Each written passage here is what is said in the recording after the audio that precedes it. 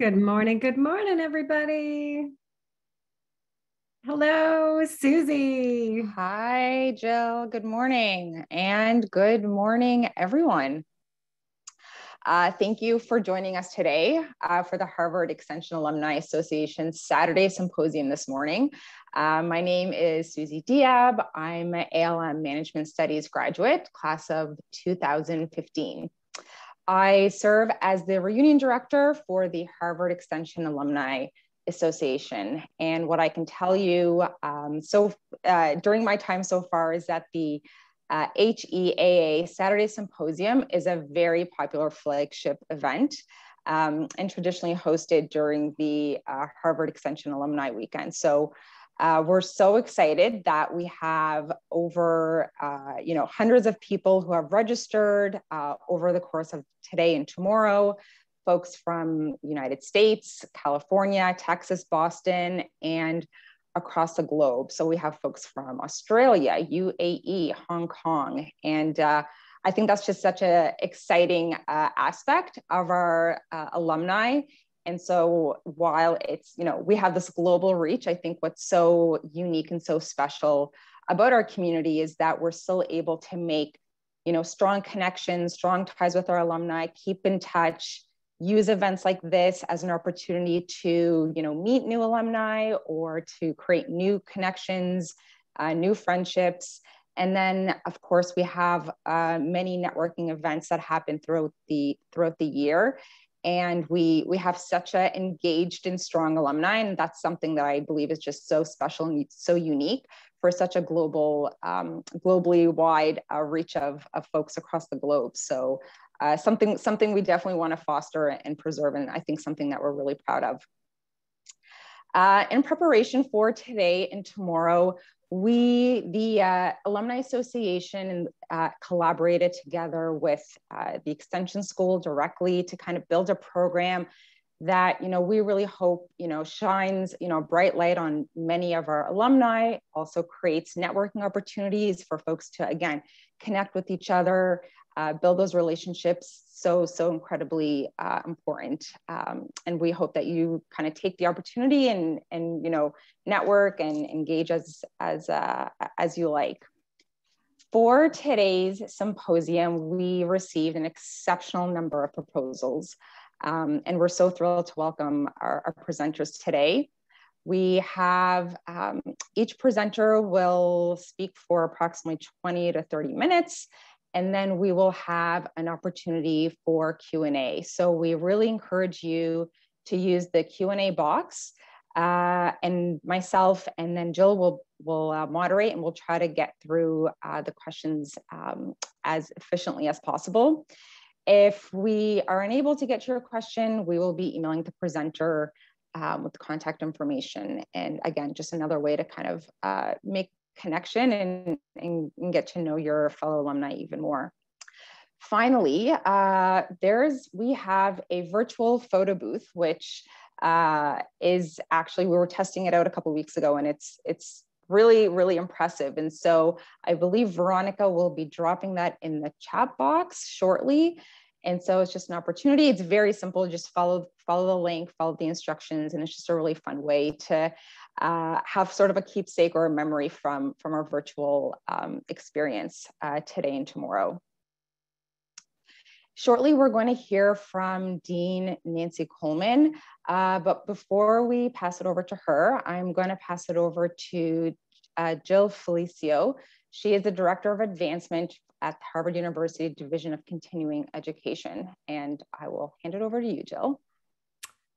Thank you so much, Susie. I mean, honestly, I don't know what we would do without you and all the work that you have done and the precious time that you have given and sacrificed to bring this reunion to life.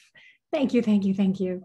And welcome, everybody. It's so wonderful uh, to see so many familiar names and new faces. And oh, I can't wait till we connect. Uh, but really, welcome to our very first virtual alumni weekend.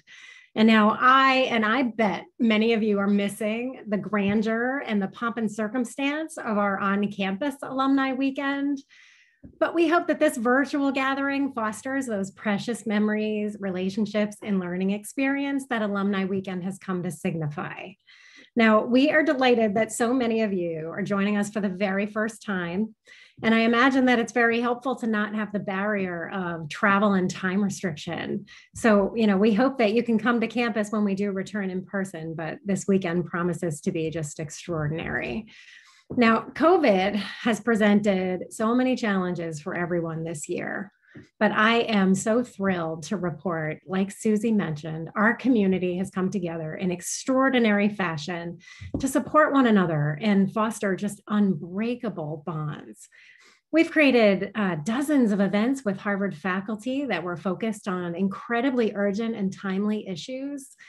And our alumni regional chapters have fostered bonds, unbreakable social connections, job sharing resources, and frequent events that bring people together in our major cities.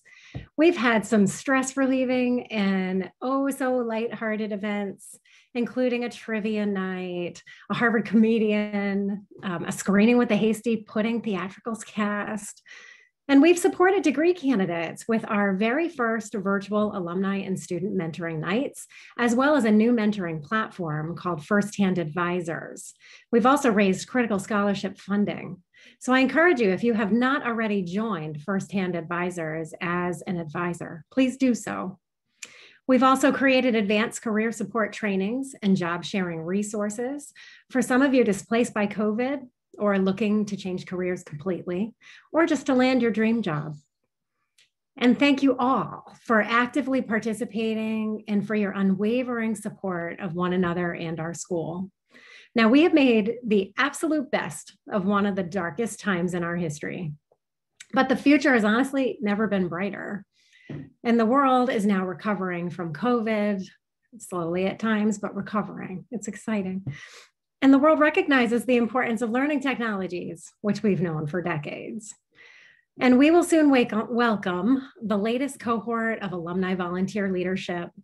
We will plan in person celebrations and foster a new wave of powerful career networks.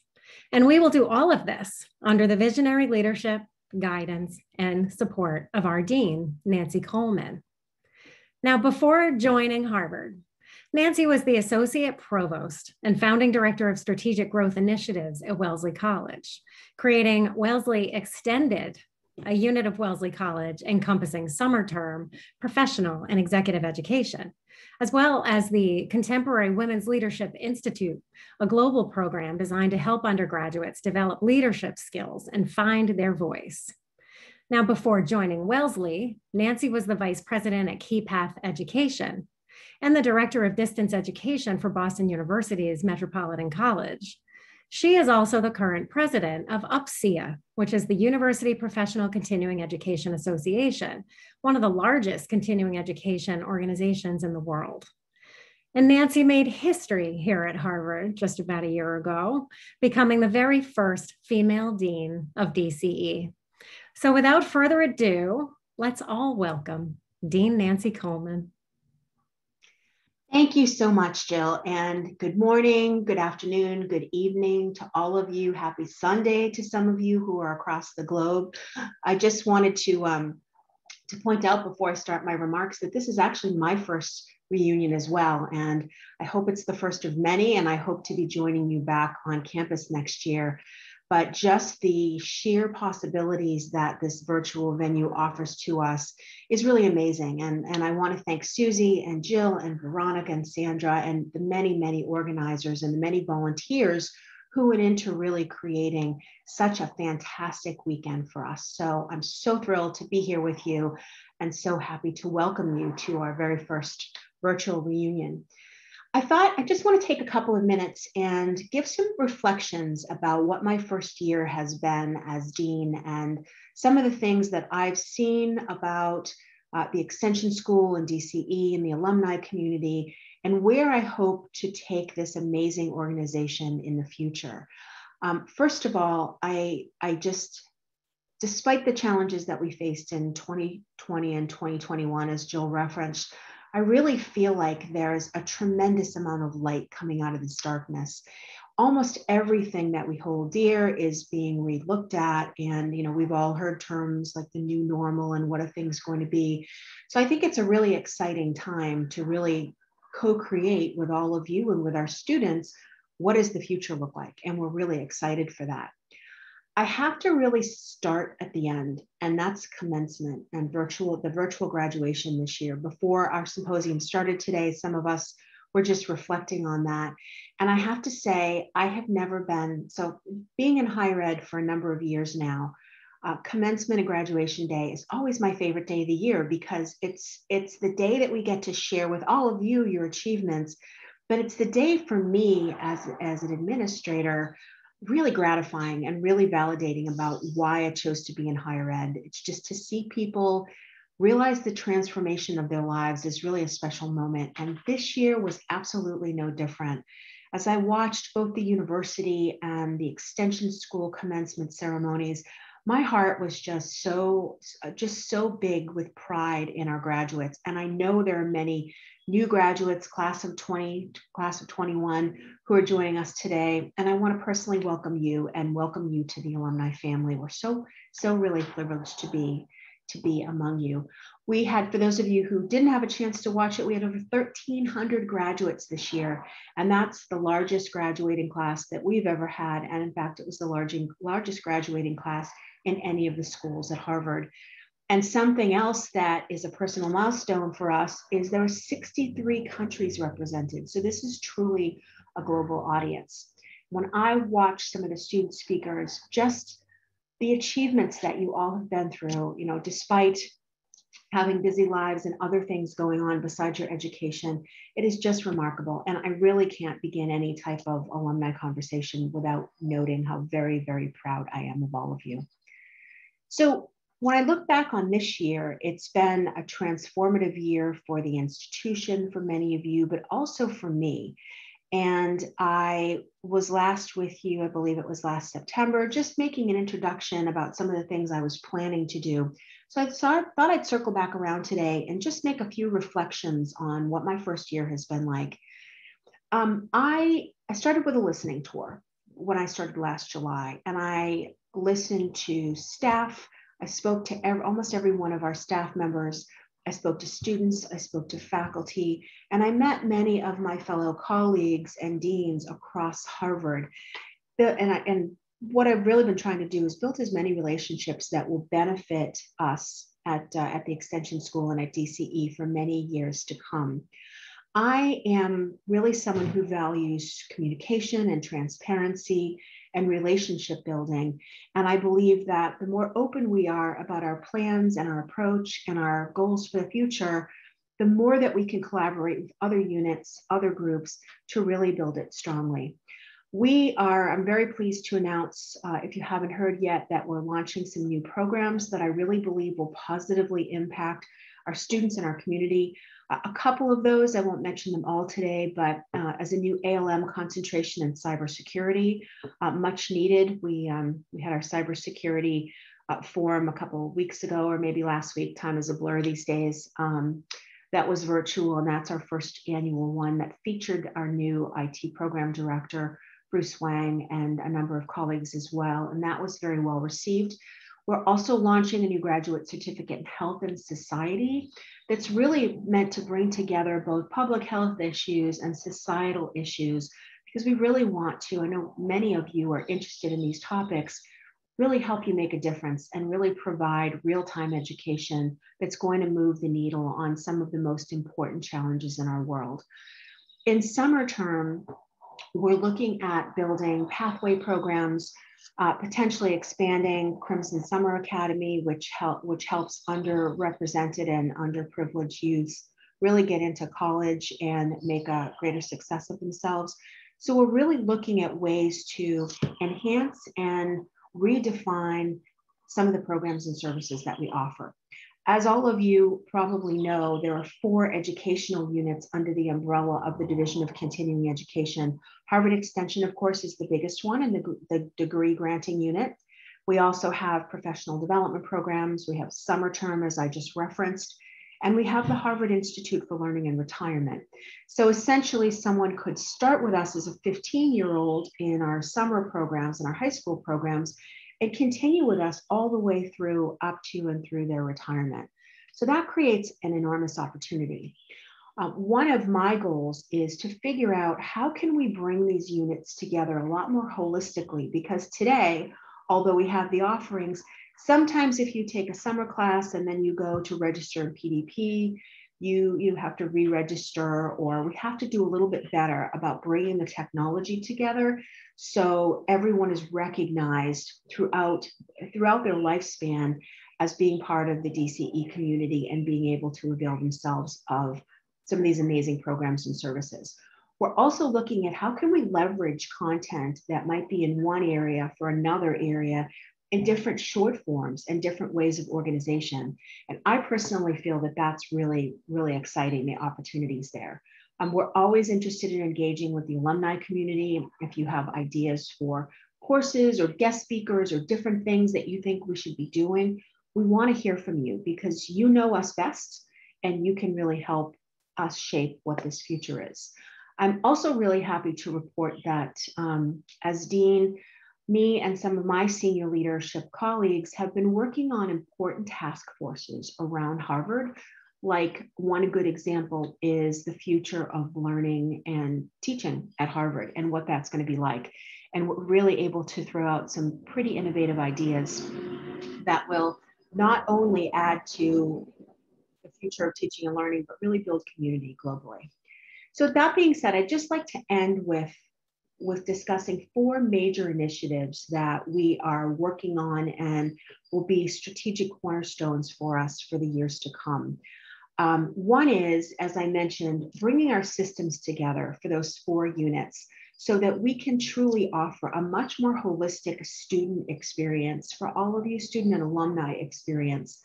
And um, our systems talk better to one another and we'll be able to really engage students at, at a different level and keep people apprised of, of what we have and how they can continue their education with us.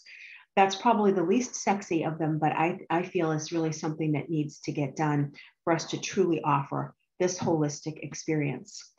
Um, the next one is something that has been a personal passion of mine for a really long time. And as many of you know, because many of you are from the international global community, we have we have a global student base, right? And many of you from other parts of the world have found us, have participated in our programs, but you've done so on our terms, right? And so, and I know I've heard stories about many of you who've gotten up in the middle of the night to take our classes.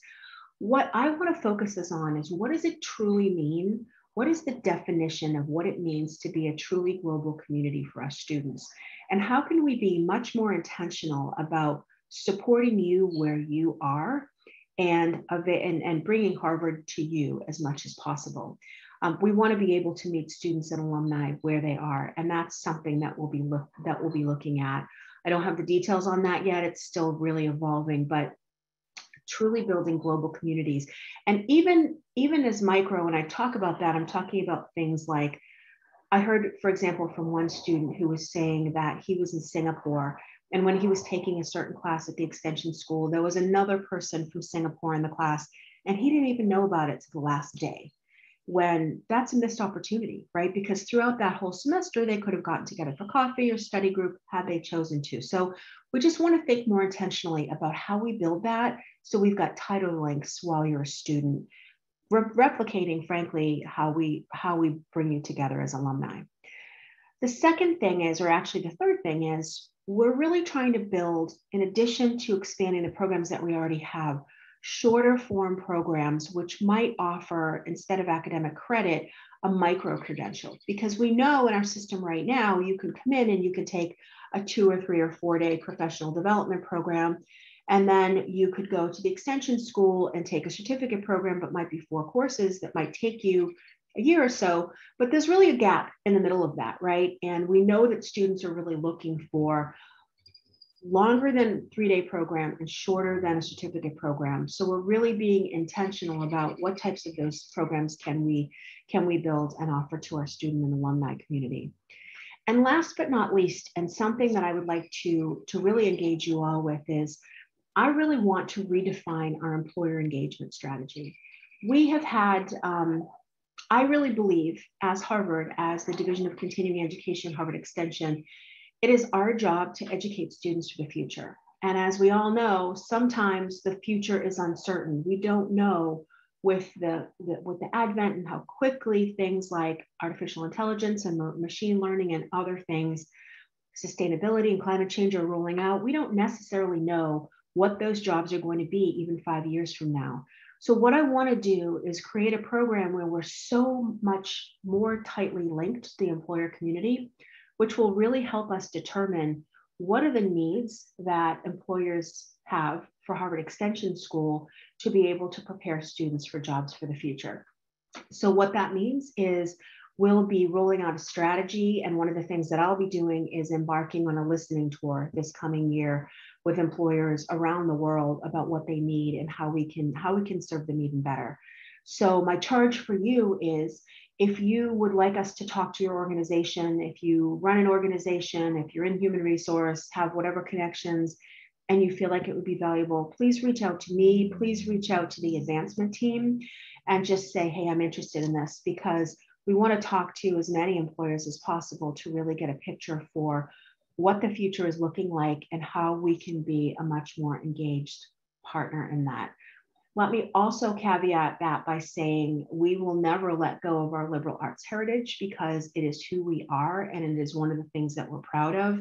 And I firmly believe, and I always have, that both liberal arts and job skills are tightly interwoven because that's how we create well-rounded employees and, and people of the future. So anyway, we would love to hear from you on this. Please do reach out if we can, um, if, if you would like to engage with us on this. And finally, I'll stop because I know there's probably some questions, but as travel opens back up, I really hope to be out there in the community, to be meeting you, to travel to your location and really meet you in person. So Thank you so much for your support and um, happy to take any questions that you might have.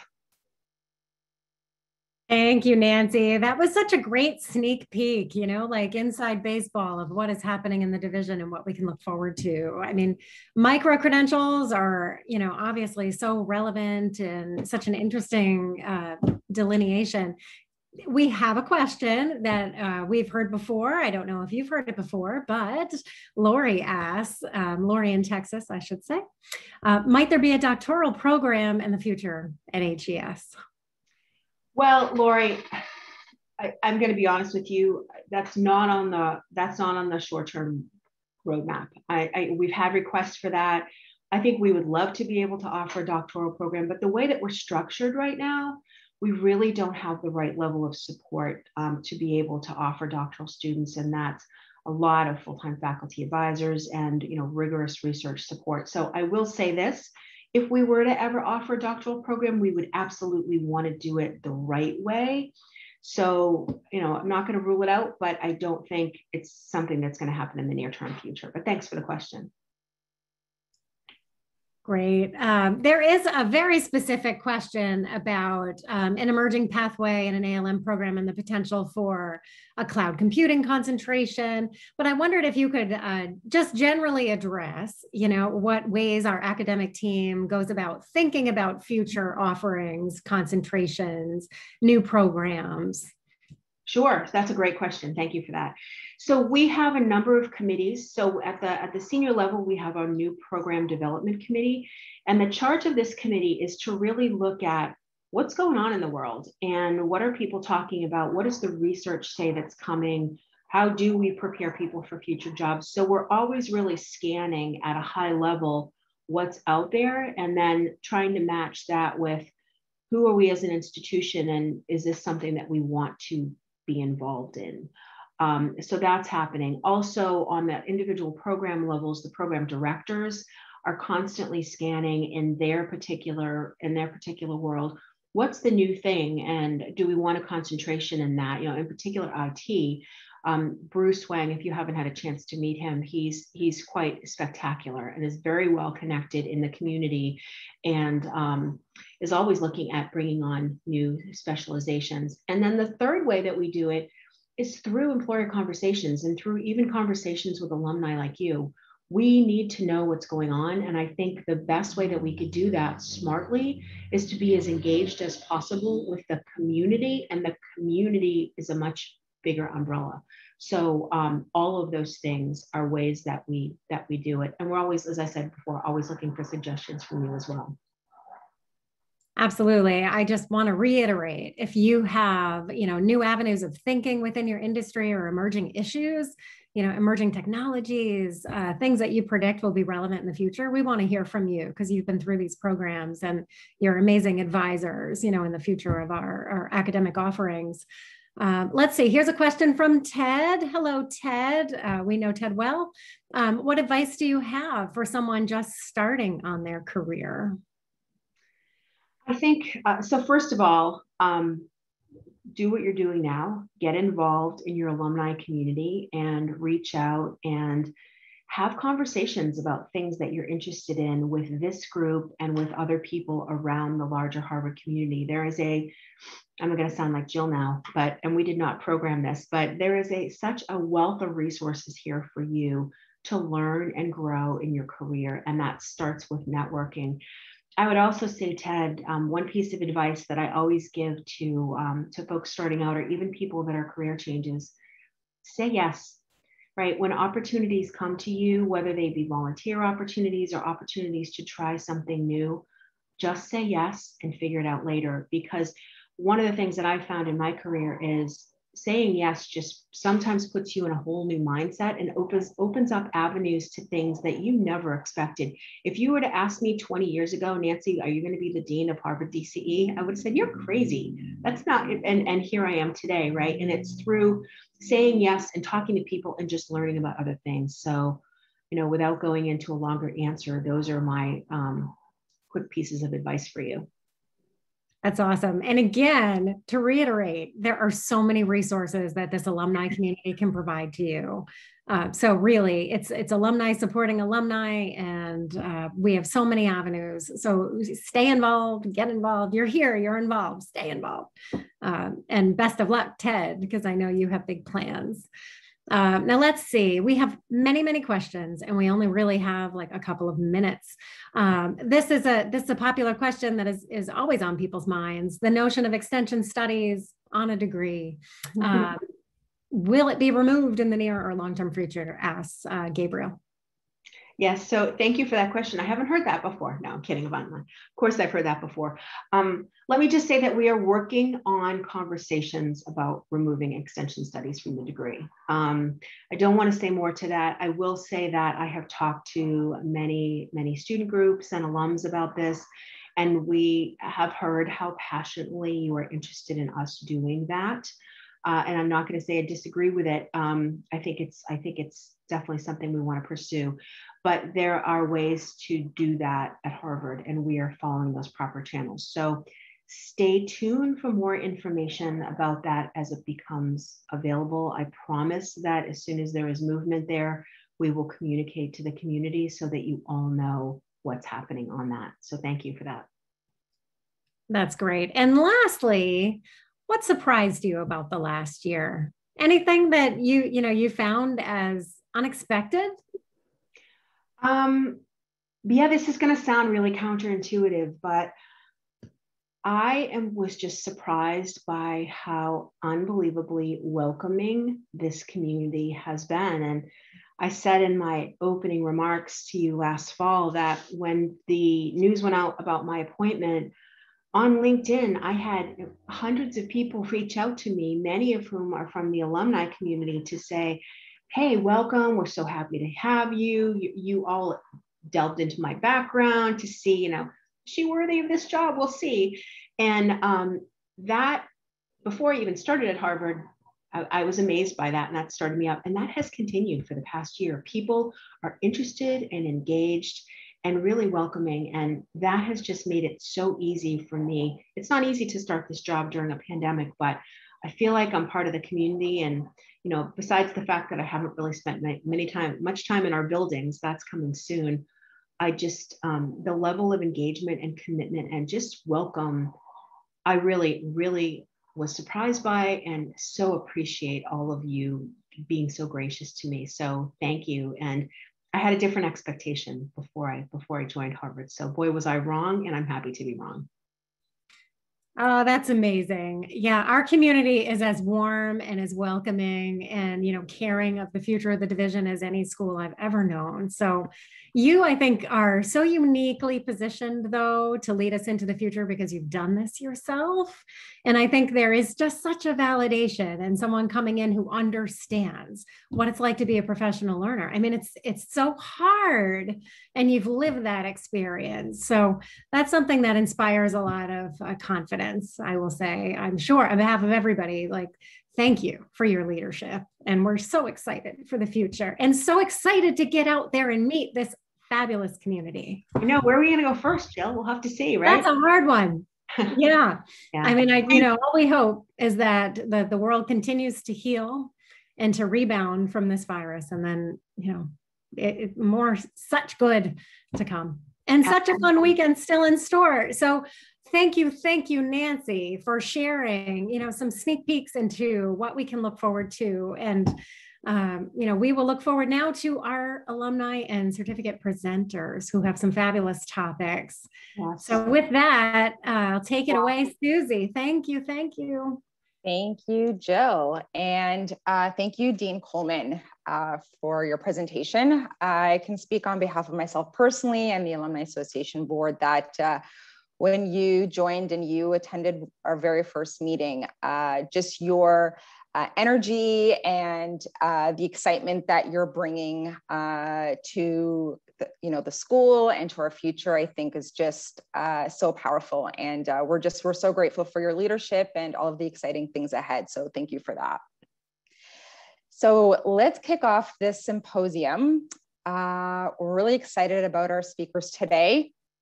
Our very first presenter is Dr. William Schnell, uh, or I believe he goes by Bill. Bill is a climate activist at the Climate Reality Project. Um, this is actually led by former Vice President Al Gore. Uh, his topic for today is actually quite timely. It's called Solutions for Climate Driven Migration.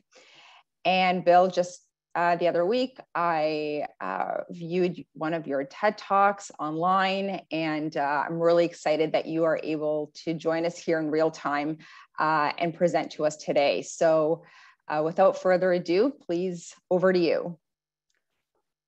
What does climate change mean for me? Not for somebody else, not for you, for me. It's always about me. This is how most people approach climate change. How does it affect me? Which is not to say that we are without compassion for people around the world where food security has been severely impacted by a warming world. Uh, closer to home, our hearts go out to those uh, who have suffered the loss of loved ones or property from wildfires on the West Coast or intensifying hurricanes on the Gulf Coast. None of us would wish rising sea levels upon anyone living along the East Coast. But compassion notwithstanding, we are burning record amounts of fossil fuel and emitting record amounts of uh, uh, greenhouse gases into the atmosphere each and every year not even our concern for our children and our grandchildren has diminished our climate destructive behaviors one bit. The only thing that would change our behavior is if climate change started affecting us personally. But here in Northeast Ohio, from where I am presenting, uh, wildfires, hurricanes, and, and rising sea levels do not reach us. Um, temperatures here are increasing and bringing with them uh, certain risks unique to this area. Uh, for example, heat stress in its various forms.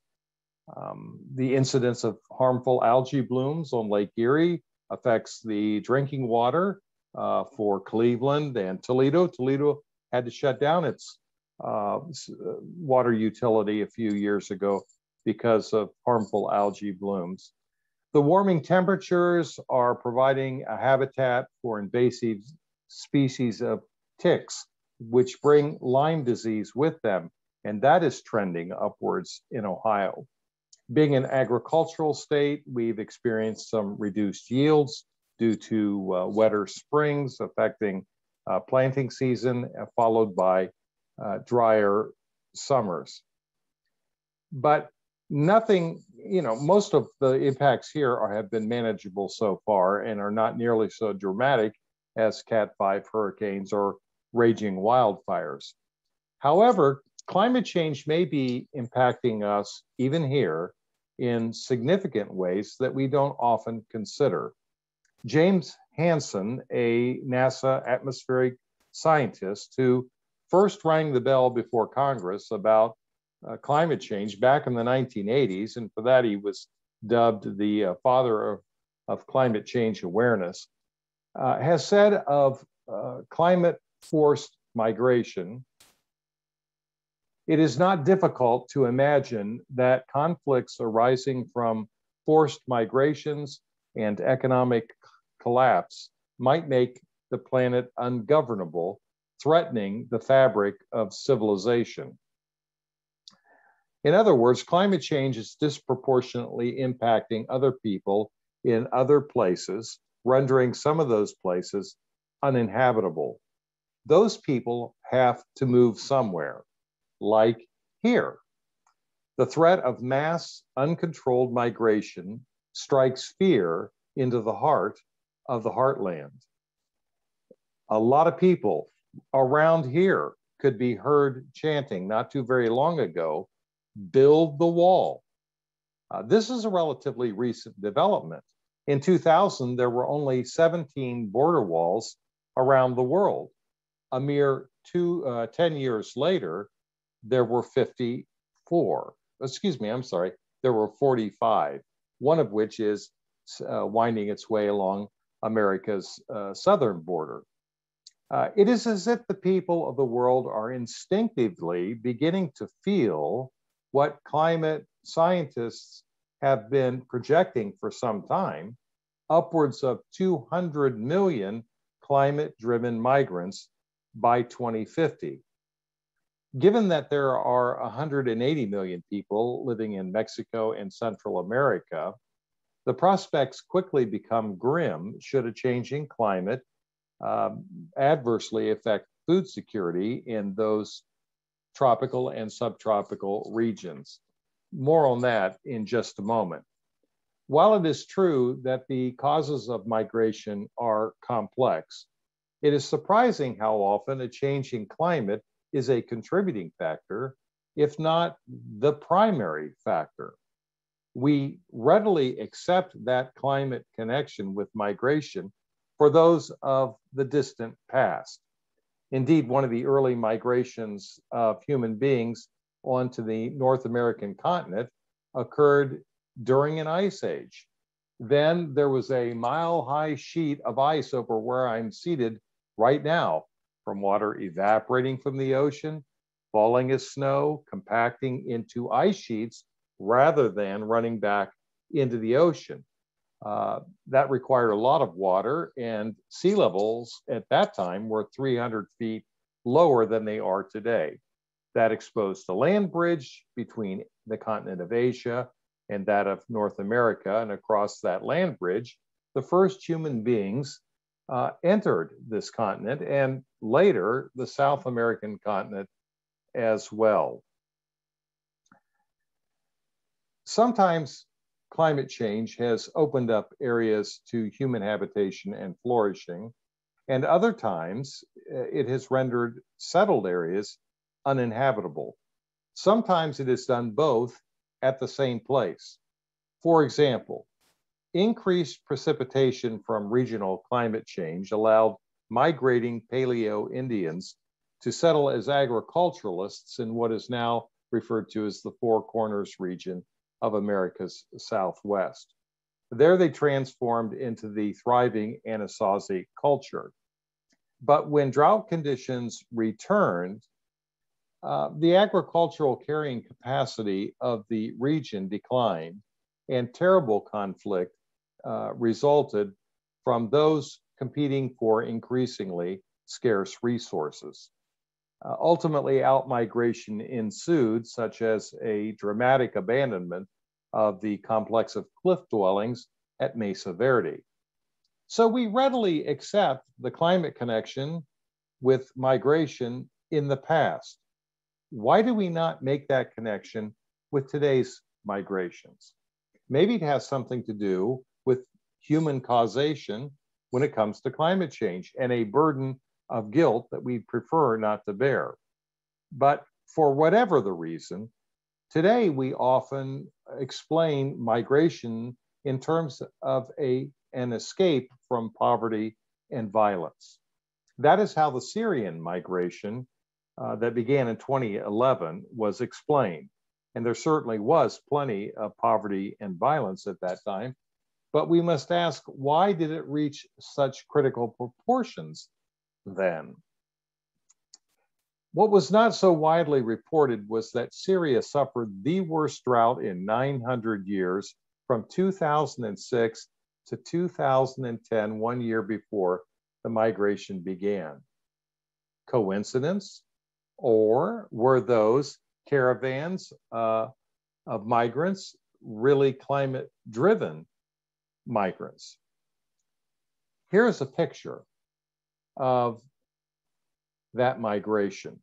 It is from the most commonly found poster promoting the Brexit vote. The number one reason given for the United Kingdom to leave the European Union was to take back control of its open borders with all other constituent nations in the Union. A strong case can be made that without all those climate driven migrants from Syria, there would not have been enough pressure to force a Brexit referendum in the first place. So, when all the dots are connected, a climate event affecting subsistence farmers and other agriculturalists in Syria ends up disrupting one of the world's great international alignments. It is for good reason that the US military has referred to climate change as a threat multiplier when an unstable country like Syria is already teetering between civilization and anarchy, all it takes is a climate event to tip it over the edge. That can destabilize an entire region, which in turn reverberates far away. Indeed, not only were United Kingdom eyes watching the Syrian migrants with alarm, Across the Atlantic Ocean, United States eyes were watching it with alarm as well. In, in fact, the year prior to the Brexit vote, 32 of 50 American states made it quite clear that they would not accept any Syrian refugees. No wonder then that building a wall became such a compelling issue in America at that time. It became so compelling that the fellow leading the chant was elected president of the United States.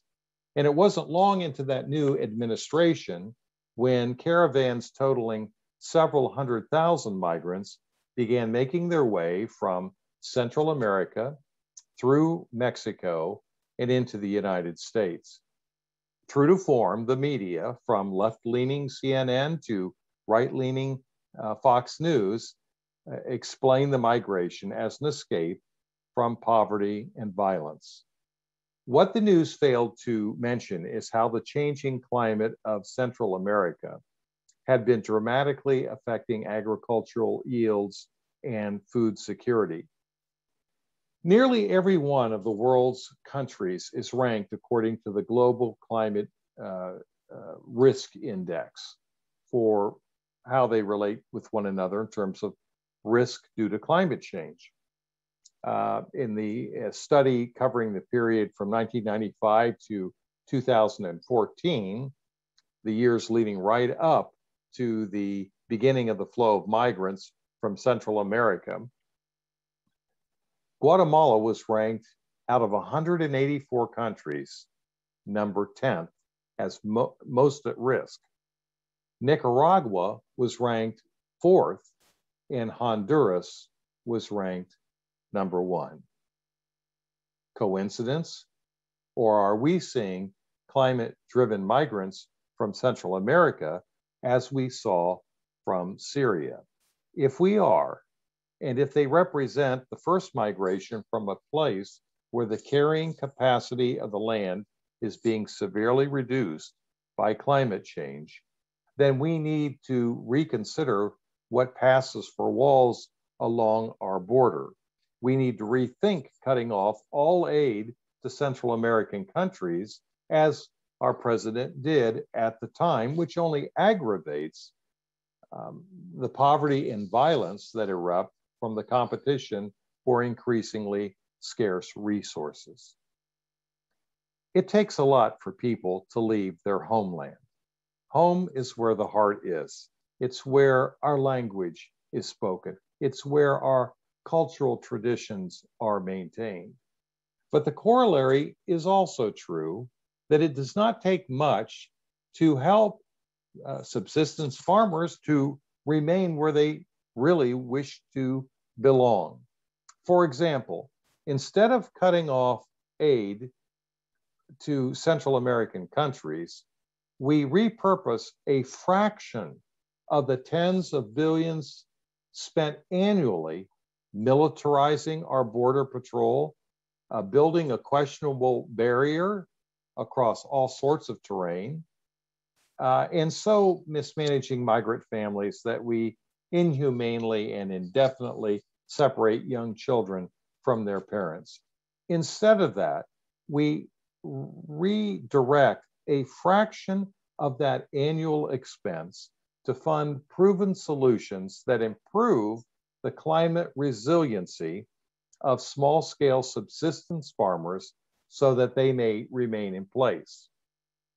Now, some solutions, such as the use of old crop residue as a mulch to preserve soil moisture, costs nothing at all beyond uh, instructional e expenses. Um, other solutions, such as water harvesting systems and small scale irrigation systems that efficiently direct water to the roots of plants, while requiring an initial investment, can pay dividends for years to come, not to mention creating jobs to produce, install, and maintain such systems. Further solutions include disease resistant coffee varieties for the main cash crop of Central America, currently being decimated by a heat loving disease called coffee rust. Similarly, drought resistant varieties of staple crops such as corn and beans are available now. If you'll notice the graphic with the two stands of corn standing next to each other, uh, one is a drought resistant variety and the other is not what an obvious difference. And the same can be said for other staple crops, such as uh, uh, beans. Finally, the promotion of crop diversification is an effective adaptation. Plants like dragon fruit cactus and sorghum simply need less water to grow. Together, the solutions offered here, along with many other equally cost effective ones, can improve climate resiliency so that subsistence farmers and their families can stay in place rather than risk a perilous journey as reluctant climate migrants. Climate forced migration is already happening around our world, and destination countries are understandably alarmed because it is projected to increase dramatically in the coming decades. As Dr. Hansen has warned, human civilization eh, is at stake, especially when uncontrolled mass migration adversely affects the um, uh, carrying capacity and water security and food security of destination countries uh, struggling to adapt to a warming world right now, and, and that affects all of us regardless of where we live. Now, right now, we live in a, an increasingly polarized uh, world. Um, where conservatives relative to liberals are alarmed by the migrant crisis while being dismissive of the climate crisis. And liberals, again, by comparison, are alarmed by the um, uh, climate crisis and being dismissive of the migrant crisis. Perhaps this is a place where we can come together and achieve uh, solutions for the climate crisis, uh, excuse me, the migrant crisis, uh, by acknowledging the impacts of the climate crisis. That would be more agreeable and less distressing for everyone. When it's always about me, civilization is in deep trouble. Only when it is about us, all of us, does the fabric of civilization hold together. Thank you for holding it together. And we return to our moderator for your questions and comments. Thank you, Bill. That was uh, that was incredible. I think you just did such an amazing job of really bringing a balanced perspective on so many sides of when we really think about climate change. You know, the society, environment, population displacement, um, and really those unintended consequences. So thank you for that very very thoughtful presentation. We do have some questions, and so let me just open up this chat box here. So the first question is, what does the historical record tell us about how our social order might address climate change challenges? you know, uh, I'll use a contemporary example, uh, although it can be uh, seen historically as well. Our track record is not that good as mentioned, Dr. Hansen began ringing the alarm with a congressional testimony in the 1980s.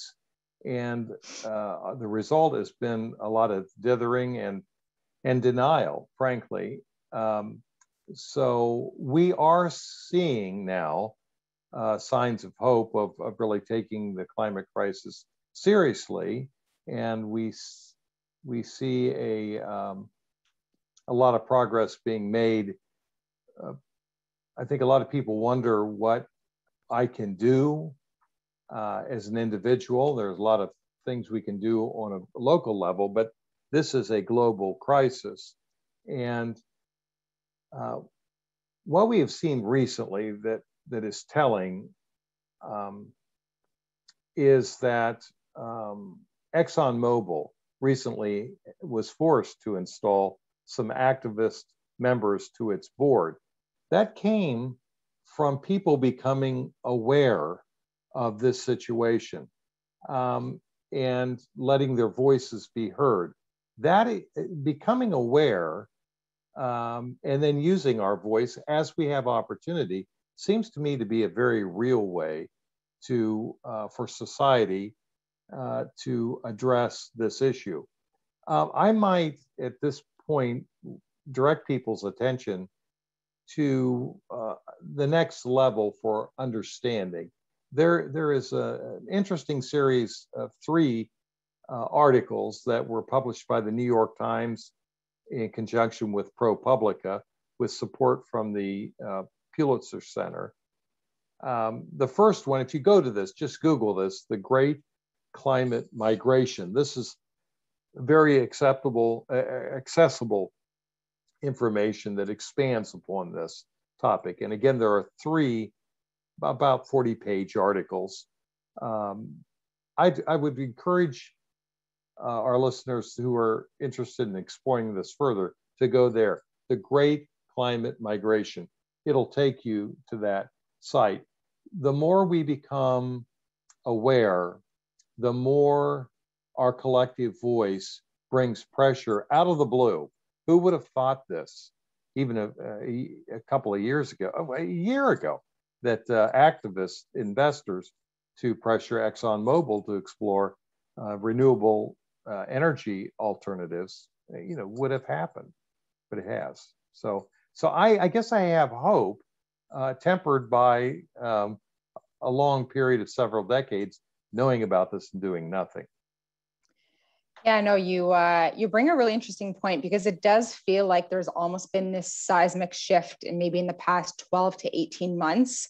And you just take, you know, we love sometimes maybe to pick on the oil and gas companies, but you know, really shifting in how they are putting forward, you know, sustainability measures with, you know, real hardcore KPIs and investors really demanding this information. And so it's just been really interesting to uh, to see that unfold. And uh, of course, when one when one kind of takes place, it kind of opens up the floodgates for other companies to follow. So, uh, very yeah, very very interesting to to watch.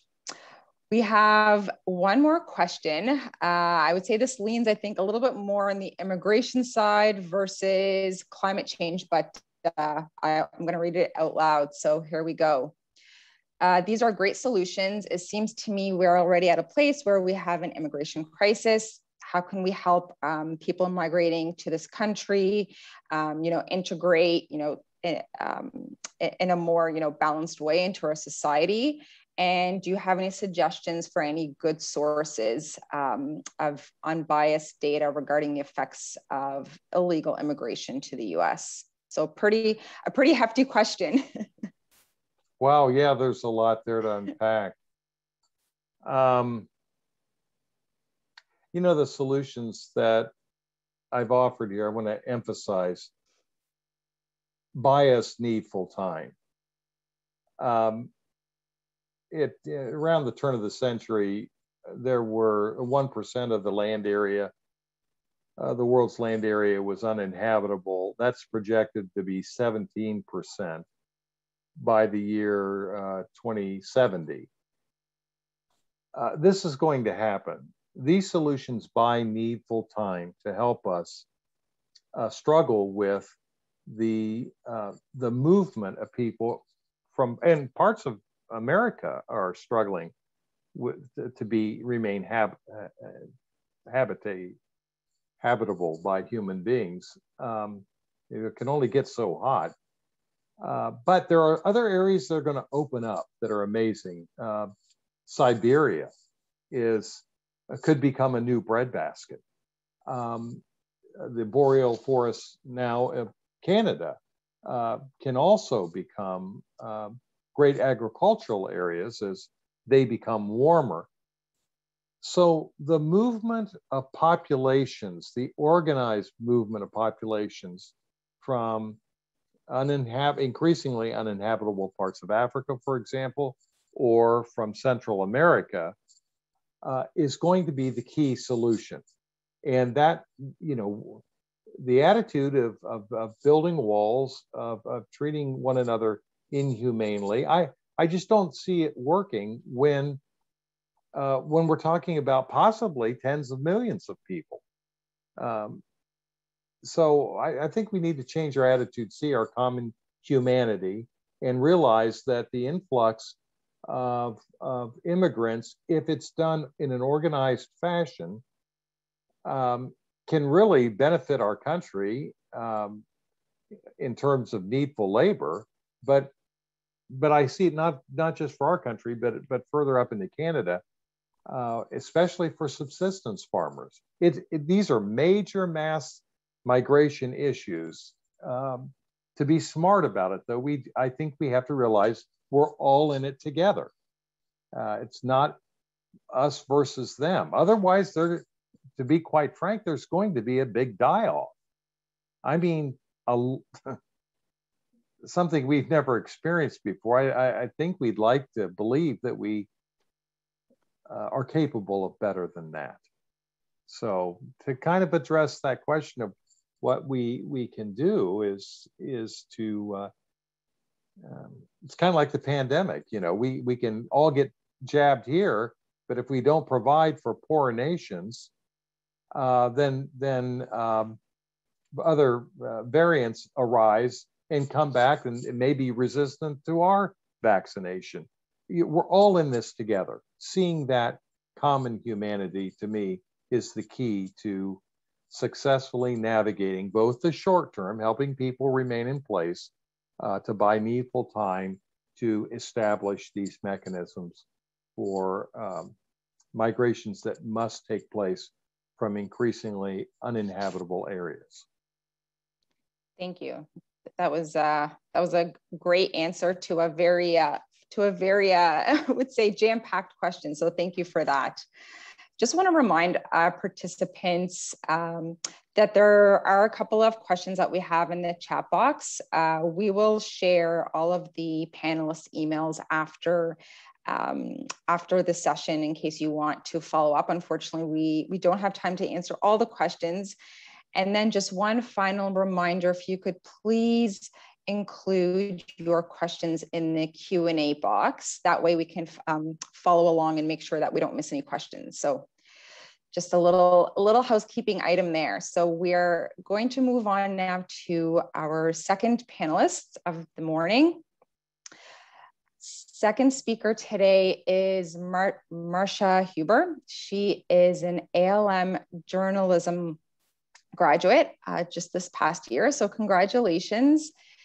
Marsha has mastered both what I would say the right brain and the left brain. So to describe her, she is an award-winning accounting professor, a well-being and creativity researcher, and a, CP, a CPA and a freelance journalist.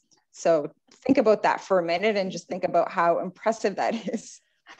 Um, her topic today is findings from a COVID 19 study. What does creativity, gender, or your age have to do with your well being during challenging times? Uh, of course, a very, very timely topic, and we're really excited that Marsha is able to, to join us here today. Okay, hello. Um, thank you for um, allowing me to speak today. And I hope that I can uh, share some information that will help everybody. And um, of course, I have many more results than uh, than I can show because I have to keep this, uh, you know, rather short. Uh, but first, I want to start with a bit of gratitude. And is my uh, my screen sharing right? Oh, I see what I'm doing wrong. Excuse me. There we go. Great. Yep, you're great. Okay. So uh, first, I want to just share a bit of gratitude because this degree has done a lot for me, and I spent about, believe it or not, eight years uh, working on it. You know, you know the whole process, and I just want to say that since I graduated, uh, I have been an accounting professor for 33 years, a tenured professor, and I was just offered a new position as director of research at the Institute of Management Accountants and one part of it was the degree. And because I will be the managing editor of the uh, Education Case Journal, um, many things I learned in the program allowed me conduct research such as this. And I also got a book contract on the same day. And what I did is I took a lot of articles that I wrote during my program and constructed um, an outline for a book. So I am so grateful um, for this degree. So let's get started. Why? Why this study?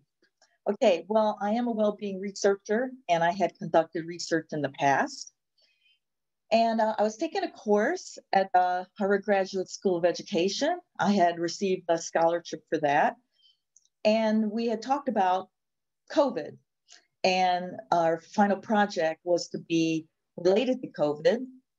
And I started, started thinking about uh, the well-being research I had done in the past. So I thought, okay, I've looked at accountants in the past. I am a CPA, and I thought, well, I'll look at accountants again. But the surveys were not coming in as quickly as I wanted.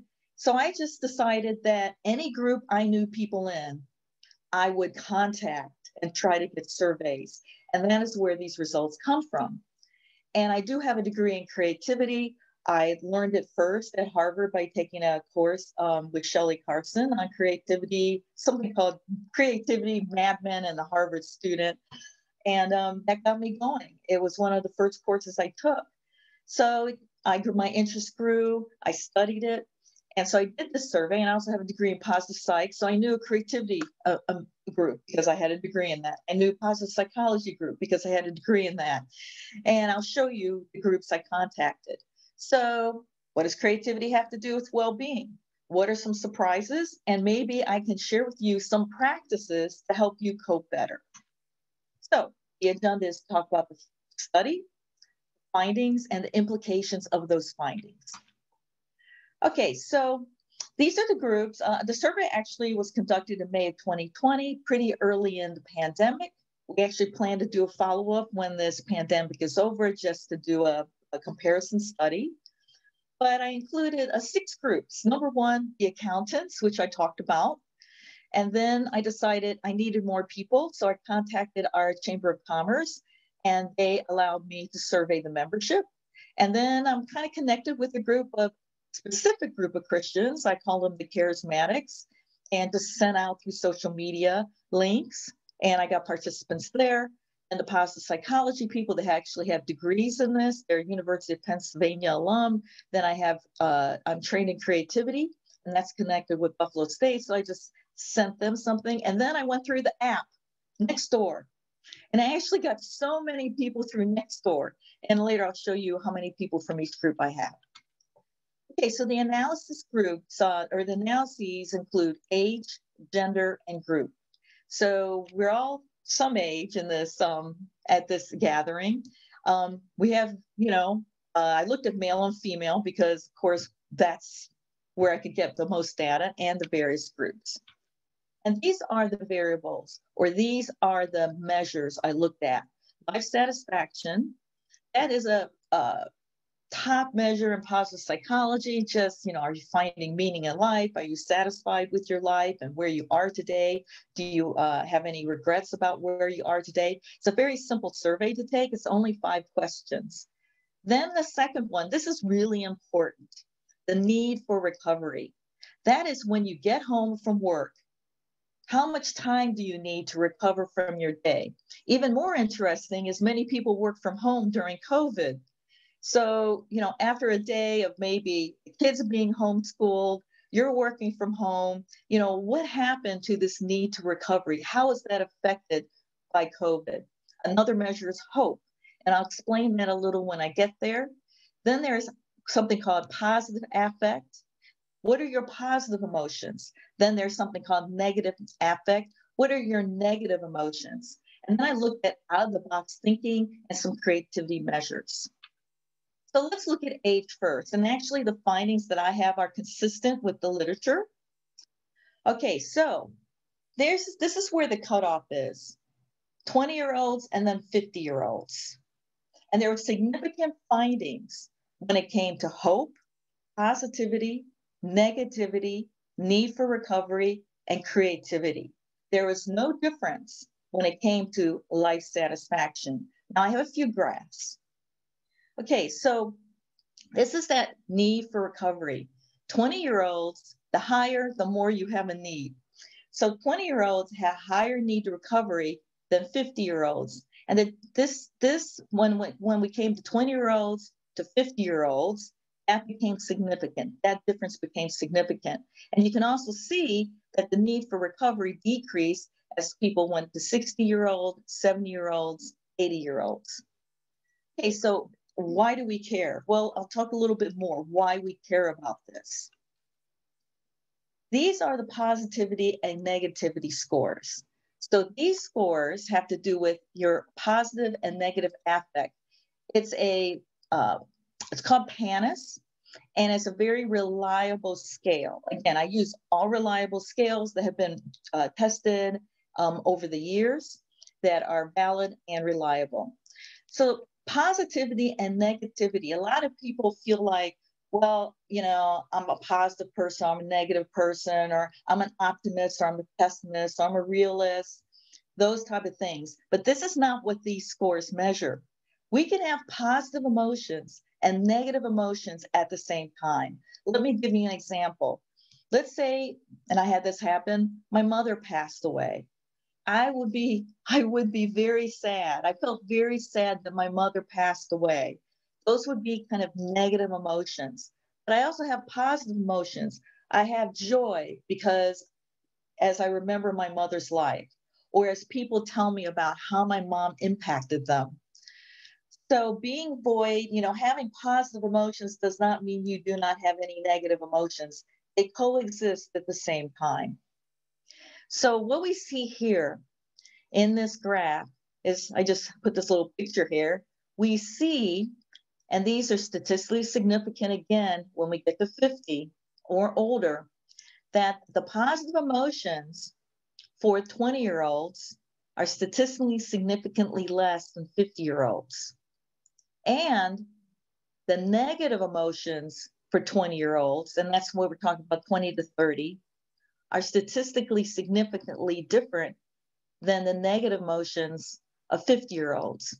As you see, this gap is increasing. The wider the gap, I would view that as better well being because you're having more positive emotions and fewer negative emotions. So, this is an interesting finding. And I was questioning, and it's been found we know our young people struggle the most during COVID, but I didn't know exactly why. So I, I was at a, a, another alum thing. That's why these alum things are so important.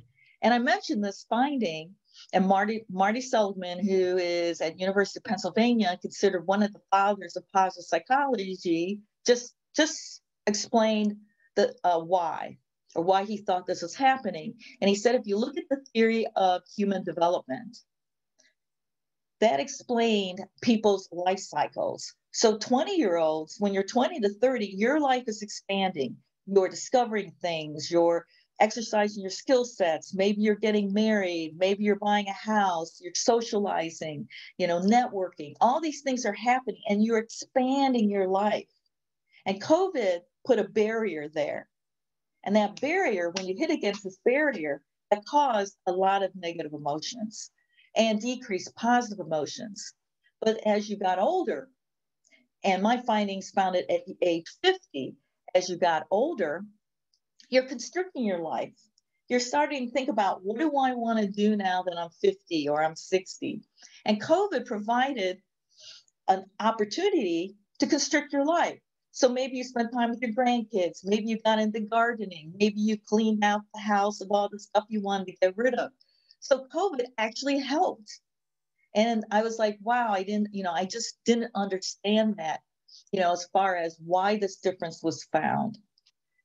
So another thing I thought about as well, and there was a difference in what we call the hope findings. So hope, what is hope? Hope is being able to see a good future, but not only that, the ways to it. So if you're 20 years old, you have hopes of this great future, and all of a sudden this big barrier came, you're like, you can't see it anymore. But I'm I'm up there in years, you know, I'm over 50. And then all of a sudden I could see a good future. I started thinking about retirement. I, I started thinking about the things I want to do and the things I enjoy.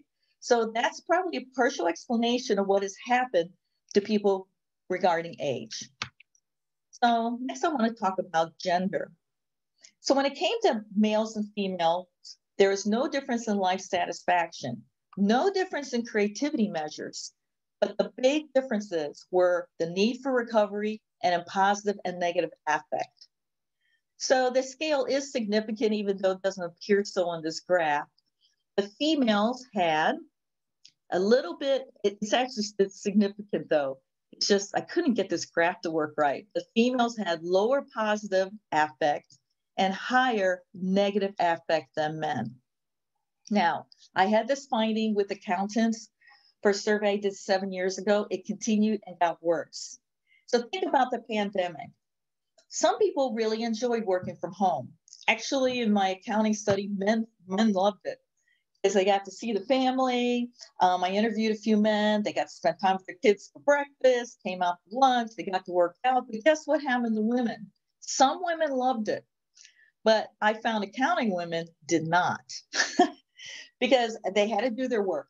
Then they had to keep house. Then they had to homeschool the kids. And they were the kids, nothing wrong with children, but you know, they just were with the kids all day long, trying to make sure everything's working, trying to keep their jobs. And actually, some women in accounting uh, actually said they went back to the office as quickly as possible because they wanted to get their work done. And when they got home, they wanted to spend time with their families. However, when it was all mixed up, it just caused a lot of stress. So that was kind of one interesting finding that I had in the study. So, what are some implications? We also learned, if you look at the literature, women left the workforce um, in what they call droves. Women were affected the most. And this is something, and so my suggestion is that we really need to theorize about interventions that help women, all right? Working women, women at home during times like this, just generally overall. And then my last group, my last part of the study includes groups. So you'll see the participants, 200 accountants, 94 uh, business owners uh, from our chamber. They gave me their mailing list. The charismatic Christian group, the creativity people, and these creativity people all had um, a certification called FourSight, which I actually took first time at Harvard in a class I took. Then the positive psychology alums, then the neighborhood people on Nextdoor, and I'm in Northeast Ohio. So of this group, uh, um, 843 uh, gave us usable findings. So let's look at this. Now let's look at creativity. Men and women didn't have a difference in creativity. Um, actually, we did find some differences with age groups, but I didn't focus on that. But I want to talk about this. So this was statistically significant, uh, or this is satisfaction with life. Uh, there were no real differences in satisfaction with life, except with the neighborhood people, even though this is hard to see. Again, this scale is not good. But um, the neighborhood people were significantly lower than accountants, the charismatics, the creatives, and positive psych communities. And what that tells me is, and we had like 300 neighborhood people, that there's that these types of backgrounds or these type of trainings made a difference than just your ordinary person in your neighborhood. Um, when it came to hope, and I mentioned hope earlier, especially with our young people, the people with the FourSight, the creative people, and the positive sight people that are trained in these things had statistically significantly higher hope. Then, when we look at the positivity and negativity scores, this is very interesting. So, when it came to the groups, the neighborhood people had the lowest positive emotions and the highest negative emotions. The two groups, there's actually three groups. The two groups that had the statistical significant difference in these positivity and negative scores again were the creativity people and the positive psych people.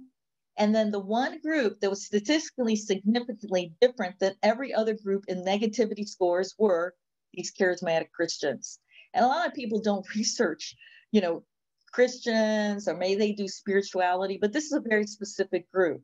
And I found that interesting that they had the least negative emotions statistically significant than anybody else. So, what are the implications? So, even though these are such a short set of slides, I believe this shows that those trained in creativity and positive psychology actually had better well being and more creativity during this very challenging time. Training and learning these type of things it's not rocket science. In fact, Harvard offers some of these courses, and you can get certificates in this. And these things, according to my research, make a difference. And so, when it comes to well being, not only does creativity, the creativity training, and those training in positive psychology make a difference, so I also believe certain religious beliefs can also make a difference or provide, provide a buffer you know, against what can happen, especially during this pandemic and the way that we handle it. So now I'm open for questions. Thank you so much for listening. I'll figure out how to get out of this.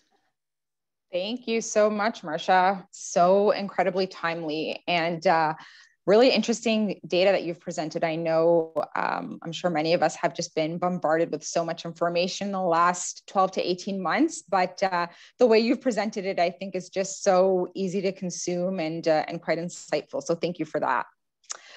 Let's start with our questions. Uh, so the first question here is, someone said amazing study, thank you. Did you see the differences between cultures slash races? Well, unfortunately, we do not have data from different cultures or races. We, I don't think we ask race, and we probably should have. Um, it kind of just started out a little bit more of a curious journey, and then it turned into something bigger than that. So, um, and then I had somebody who wanted to do it in Japan. They never got around to it. I had somebody who wanted to do it in Mexico and they didn't get around to it. And the pandemic is hopefully nearly over. So I can't answer that question for you. Yeah, no, I, am sure that'll be a, another layer added on uh, as, as time passes. There was uh, an interesting uh, chat happening, and one question I believe came up. Um, let me see here. So someone said, I'm just kind of paraphrasing here, but it says, so if the theory is correct, um, I guess, you know, what is your perspective or is it uh, apparently, you know, safe to assume that COVID was a major disruptor to the younger generation, gener- generational social pathway? Oh, uh, definitely. I mean, all the research shows that. I'm a professor as well. And, um, you know, we had a lot of prep on what's going on with our young people, you know, to be flexible. So many were depressed. So many students wrote me how depressed they were and i don't think we we had in our pocket interventions to help you know it, you know flexibility is nice uh, but i really think we could have practiced some positive interventions just something as simple as a gratitude journal has shown statistically significant improvements in well-being and in a, in a what do you call it um, fewer depressive symptoms. You know so there's just things three write three things down at the end of the day. And uh, you know that are positive um, you know calling loved ones uh, doing something positive for someone. But i did not go to one seminar that mentioned those interventions. And i think that would have been helpful. And probably can still be used now. I mean we're coming out of it but it's, it's a very confusing time because we're going to be back in the classroom again and you know it's another transition yeah, I know, absolutely. It's just uh, it's endless um, evolving and and kind of learning from from the past. So that's that's great. Uh, next question here is uh, so someone says this was done in May 2020. Thoughts on what data might show now in June 2021 with vaccines available? I'm definitely in a different place now that two months into the pandemic now versus then two months into the pandemic. Yeah, I agree. That's why we're going to do this again see if people bounce back. I mean, resilience is the ability to bounce back. So we're just waiting on our timing. Um, my guess is that the young people will bounce back because they have hope again. You know, they have hope, oh, school's coming back, or I can get my job now and the market is opening up. So I, I have a feeling we're going to see these differences go away. Um, I hope with women, we see these differences go away. So maybe next year, um, have some results of what happened after the pandemic. Yeah, no, absolutely. Definitely, it definitely feel like there's been a bit of a sh- shift in terms of, you know, sentiment and energy. Yeah. And so that's just been overall positive to see. I know for me personally anyway, so that's been good. Uh, someone here asks, I'm curious about social class. I realize this variable also complicates the conversation but there is a general misunderstanding that those of upper social classes don't experience anxiety or pressure. I'm curious how class may shift this discourse, if at all. Yeah, I think I can address that because, and generally, if, if you you know, if you measure social class by socioeconomic status or income, research generally shows that at a certain level of income, and this is probably a 10 year ago data, but I have found it consistent in accounting that when somebody gets their safety measures taken, it's like Maslow's hierarchy of, you know, um, whatever the word, Maslow's hierarchy, that once they get to like 40, it was 40,000 like 10 years ago. My research kind of found it floating around 50,000. That once you get those those measures, your safe, your basic needs met, your well-being still increases uh, as income goes up, but you just have well-being. And I think that ties to socioeconomic class because your needs are met. So when you don't have that basic level of income, all these measures go down. So as people were losing their jobs and accountants, the reason they were consistent as far as satisfaction with life, and even though they weren't statistically significantly different in creativity, and you would not expect accountants to be different, I mean, you know, they make the joke, you don't want a creative accountant. Um, so you don't expect, but they were consistent and they were very consistent to the data in the past because I have that data from pre COVID days.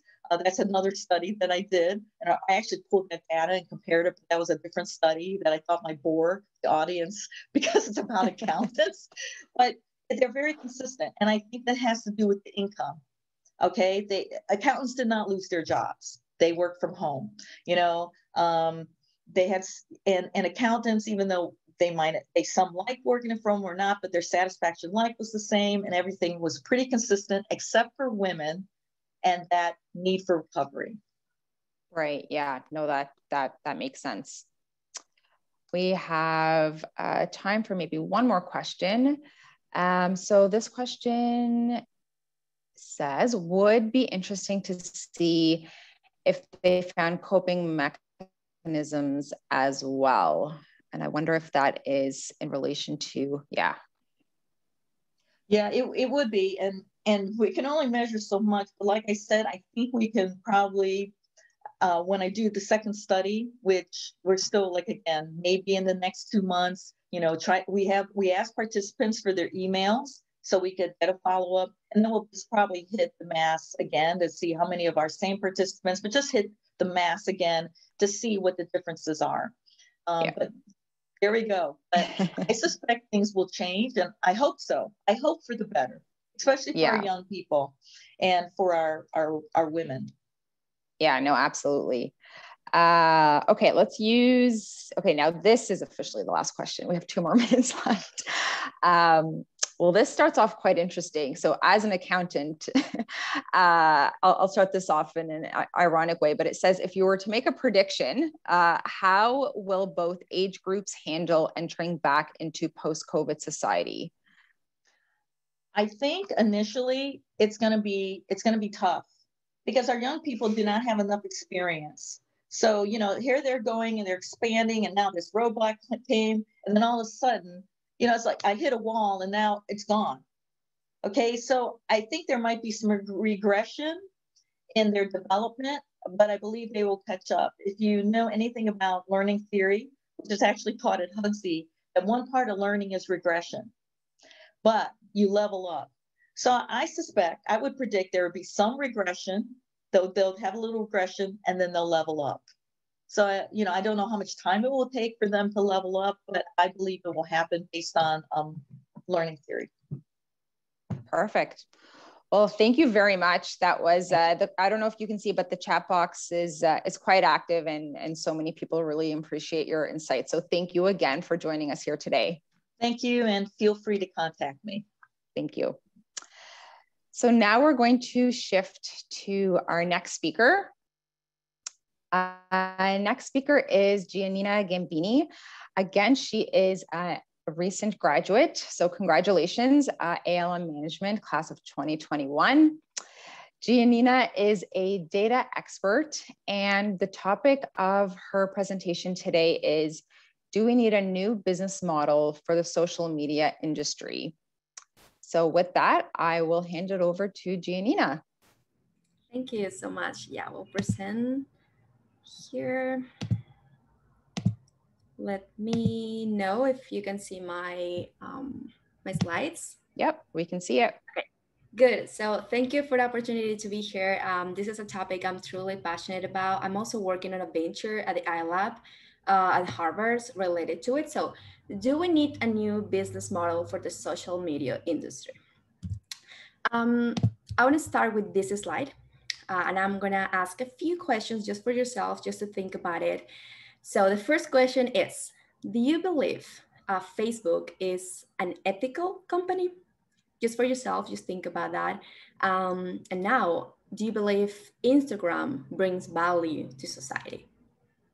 So I want to start with these questions because many of you probably said, nah, uh, I don't know, I'm not sure.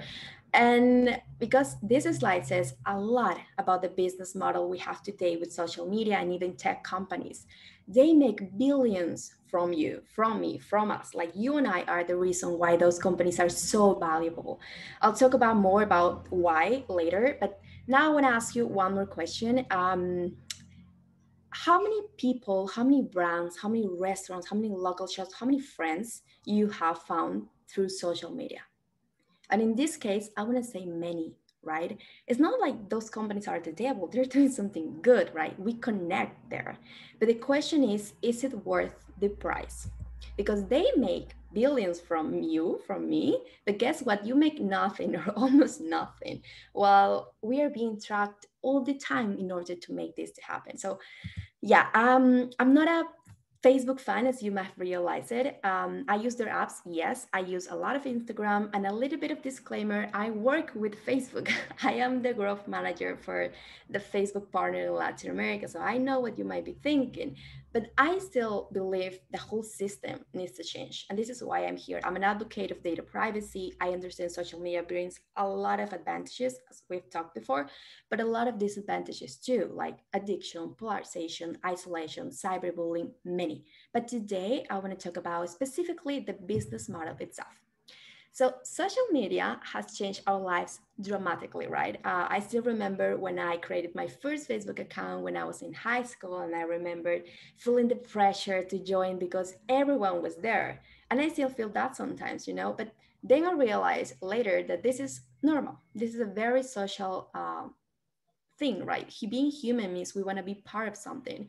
But that was a decade ago, that was 10 years ago and these companies facebook instagram google twitter they have evolved right? Now it's just not who we connect with it's what we connect with. And here is the business model of these companies data. It's not entertainment i'm sorry they're not disney. It's actually monetization of data for advertising. We all have individual information that is worth for let's say facebook um, in order to show us targeted ads so if you didn't know this, every year, depending of your activity and who you are, where you are, you're worth X amount of dollars for these companies. You're literally worth dollars for them. So before talking about why is this a problem, because I guess a lot of people doesn't believe that, I want to think about uh, that mark, the market, right? The digital advertisement business model itself. Let's talk about size. So last year, um, digital advertisement spending worldwide per year was more than 300 billion, billion with a B. So it contains data, which is one of the most valuable assets nowadays. And it's all because we what we can do with data, right? We can do targeted advertisement. And that's great. Um, years ago, television and radio, newspapers were everything. But you were paying to get to everyone's attention. And now you can get it to a specific target, the target you really want to get. So let's say me, female, 24, graduate, we like traveling, uh, I'm interested in tech, I recently purchased something from Apple. Um, all that information that comes from my online activity doesn't belong to me if you didn't know that. That belongs to these companies. And this is how i would get on instagram while i'm scrolling and targeted ad about download this tech app blah blah blah so yeah, this is how it works if you didn't know. Um, it's a very growing market. A few years ago, it has doubled the size in a few years. And in a more few years, in 2024, it's, it's supposed to double again. So yeah, it's growing, it's booming, it's, it's everything, right? So why is this a problem? Because I, when I talk to people, sometimes they say it's not a problem, but it is. so for the internet users, um, I don't know about you, I hate the amount of ads I see online. Like, it's not just the amount of ads, it's irrelevant for me because I did not not ask for that. I don't want it, I don't need it, but they're showing me ads because a company pay them to get to my specific profile. It's not because Facebook thinks I might like it. It's not a suggestion. Don't believe that. I work with them. Um, that's false. It's because I'm a target uh, for a company that wants to reach me. So I found uh, this is because there's a lack of privacy, right? A lot of people are getting this. It's a tracking online world. Everything you do, every post, every story, every like, every comment, every how many seconds you stay on a post, how many seconds you stay stalking your crush on Instagram, on your on his story, on her story, that counts to make you a profile for this company. So there's a feeling that these big tech companies like Google, Facebook in general, TikTok, Instagram, they're taking advantage somehow of their of our data because that belongs to us, right? But it's not just a problem for the users. It's also a problem for the companies because unless you are a company that is doing an amazing campaign online and it's actually a great return of your money, ads are getting really expensive. Like every year, it gets more and more more it's, it's more expensive to actually advertise on social media because everyone is there. And you as a company want to be there too to stay relevant right? The problem is ads are getting less effective. Like one of the reasons is because it's a very competitive online market and it's so hard to get people's attentions nowadays. And one of the reasons is because we don't care. We don't we don't want it. We don't want to give our attention. So i don't know about you. If you're on instagram in twitter in tiktok and you see an ad that is not relevant for you you just keep scrolling right and that's money a company pay you to just be in your phone but you just don't care because it's not relevant to you so it is a problem right but i found something really interesting i don't know if you know what an ad blocker is so if you don't know, it's just something that block ads. it's super simple. Some of them are free, some, some of them you have to pay. So 30% of internet users globally use an ad blocker. And that's a lot, 30% in the world that they are internet users. In Europe, there are some countries that more than 50% of, of the country use an ad blocker. In the States, it's like 40. Um, but like in countries like in Africa and Latin America, I am Peruvian. I'm currently living in Lima. There's less than 15% because people don't, don't know about this. So that means people are so annoyed that they're willing to pay to not get advertisement, to not be in track. It's not that you can uh, totally cover or block ads, but you can do it some, on, on some way, right? So they're willing to pay. So that means a lot of advertisement, paid advertisement, is not reaching these audiences. And that is a problem too, because I know I'm saying putting this in a very bad way, but however, advertisement has a huge value for possible buyers and sellers, always have. Um, and you might be thinking, why? It connects people because remember my last questions, you actually have found friends, you have found local shops. Imagine that you found a new restaurant there online and you might like it. And that's a great thing because it connects possible sell, buyers and sellers, right? But the problem is uh, the system is unfair right now. It's not worth the price, and big companies are gaining more than what we are gaining from our data. So what is the solution? Every, every time I talk with someone and they say, okay, that's a problem. So what it is, what should we do? And the question is, I have no idea because yes, it's unfair. Yes, some of us hate it and we hate being tracked. Some of us are paying to not do it. Some, some of us are taking actions. You know what? We're more than 7 billion people in the world. And do you know how many Facebook users have in the world? More than three. So half of the world use a Facebook app, Instagram, WhatsApp, whatever. So do you think if I ask them, do you know what monetization means to the half of the world? Do you think the half of the world means what data means? Do you think half of the world understand what monetization of data means? No. And that's the real problem. People don't care. Half of the world don't care. And part of the reason is because they don't understand it. They don't understand what's going on, right? In this alumni, in this Harvard alumni meeting, we can understand what everything in the business model is happening, but half of the world can't. So can we do something about it? Do we even have the power to do something about it? And I think the answer is maybe, but probably not if we do it alone. I don't know if you heard this phrase that says Facebook is dying and Facebook is just for all people and younger generations gen z hate facebook. They're never they're, they, they they're even killing instagram because they love tiktok I love TikTok too. so I truly believe the power of taking action as a group is huge, putting pressure to these companies to at least acknowledge that there is a problem and try to do something about it, right? There have been so many scandals, as you might know, about these tech companies, about our data, about breaches, um, that they're just waking up a lot of people about that, younger generations especially. And that's good. That's a good thing. Uh, the newspapers are doing a good thing. so the tracking problem can be solved so easily just because it's a good thing if you get targeted ads, but if it's valuable for you, if it's something that you want. So maybe asking just for permission to be tracked uh, or just giving part of the monetization back to the user because it's their data right? So should we protect them? Um, these people they don't understand what's going on. And i'm going to say yes i'm not a big fan of government intervention but when there's something new in society when there's a change when there's an innovation government has always come up with rules. They're always late and sometimes they're bad. They make it even worse but they do.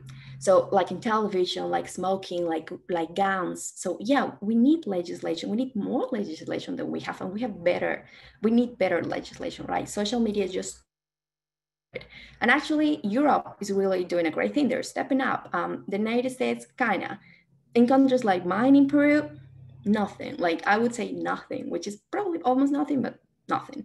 So protecting data privacy, um, I would say, yeah, the states, the government ha have to go and do something right. Actually, Mark Esposito, uh, who's a speaker tomorrow, I believe, was one of my professors on AI uh, class last year. I love him. Uh, he's um, he. I love his thoughts about this. Actually, he also believes it's an unfair game. Um, and this is one of the reasons why I started my own venture. Um, I'm actually think it's an unfair game and we should give part of the monetization back, which is money, to the users because the data belongs to them, right? So what else can we do? Educate people about this topic, about this problem, about how this works. Because don't assume everyone knows what certain topics are just because they're in the same level of education. Like you don't assume that. People sometimes don't care or don't understand what's going on right? So let's start with small steps. Uh, download the new ios on apple. Apple is fighting some, somehow. This cause is not allowing for example companies or apps to share data without your permission that's a good thing. Facebook, Facebook is really mad about that, really, really mad. so, and the last thing is entrepreneurship, right? Um, start doing businesses that challenge them. Create new business model. Uh, the industry needs that. There is a space because there's a problem. Uh, be, there's people willing to pay for that, and this is what I'm doing, right? Uh, this is exactly what I want to do with the world. I, I want to change. I want to make it more fair. Um, so yeah, it's the time to make a change. Uh, it's the time to raise our voice, and and this is it, right? We, I think we can do a lot of things together, but this is it. If we do it together, to actually put pressure on it. So yeah, thank you. Uh, more than questions, actually, I would like to hear what everyone thinks about that. It's it's always nice to hear that. Thank you. Thank you very much, Giannina. Uh, really great, great presentation. And uh, I personally agree with you in terms of the solutions and uh, the education factor, I think is so, so critically important. And, uh, you know, thinking about how we can start bringing some of that digital lit- literacy um, to, to school kids at a younger age, I think, uh, yeah, I, I think you just, you just nailed it. So thank you for that. Um, let's get to our questions. So we have a couple here. The first one is, Regarding social pressure, do we know if digital slash social media boycotts are effective or have had an impact? That's a nice question. I would say yes. Um, I don't know if you are on TikTok. this this phrase of Facebook is dying is putting a lot of pressure on new generations to actually erase their Facebook accounts. There have been weeks that thousands of people have erased their Facebook accounts, their TikTok, their uh, Instagram accounts.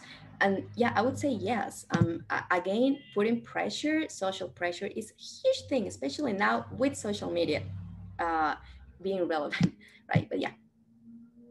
Perfect. The next question here is so it starts off by saying research shows that 60% of all extremist groups members join these groups because of a Facebook recommendation by their algorithms. Here's the question Have you seen any work to help prevent this from happening, whether from an education level or regulations?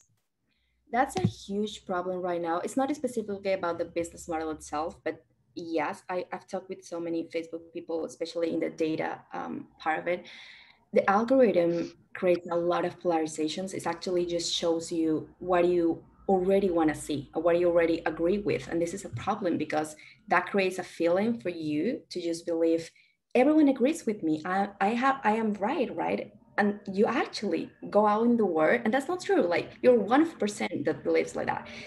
They're now not doing anything specifically for that, and this is a huge problem. But I would say Facebook is doing a lot of like uh, closing groups that are actually a danger to society. But now the problem is who says if, it is, if it's a danger to society because there's a lot of problems right there, like politics and social, um, like social problems, countries' interests.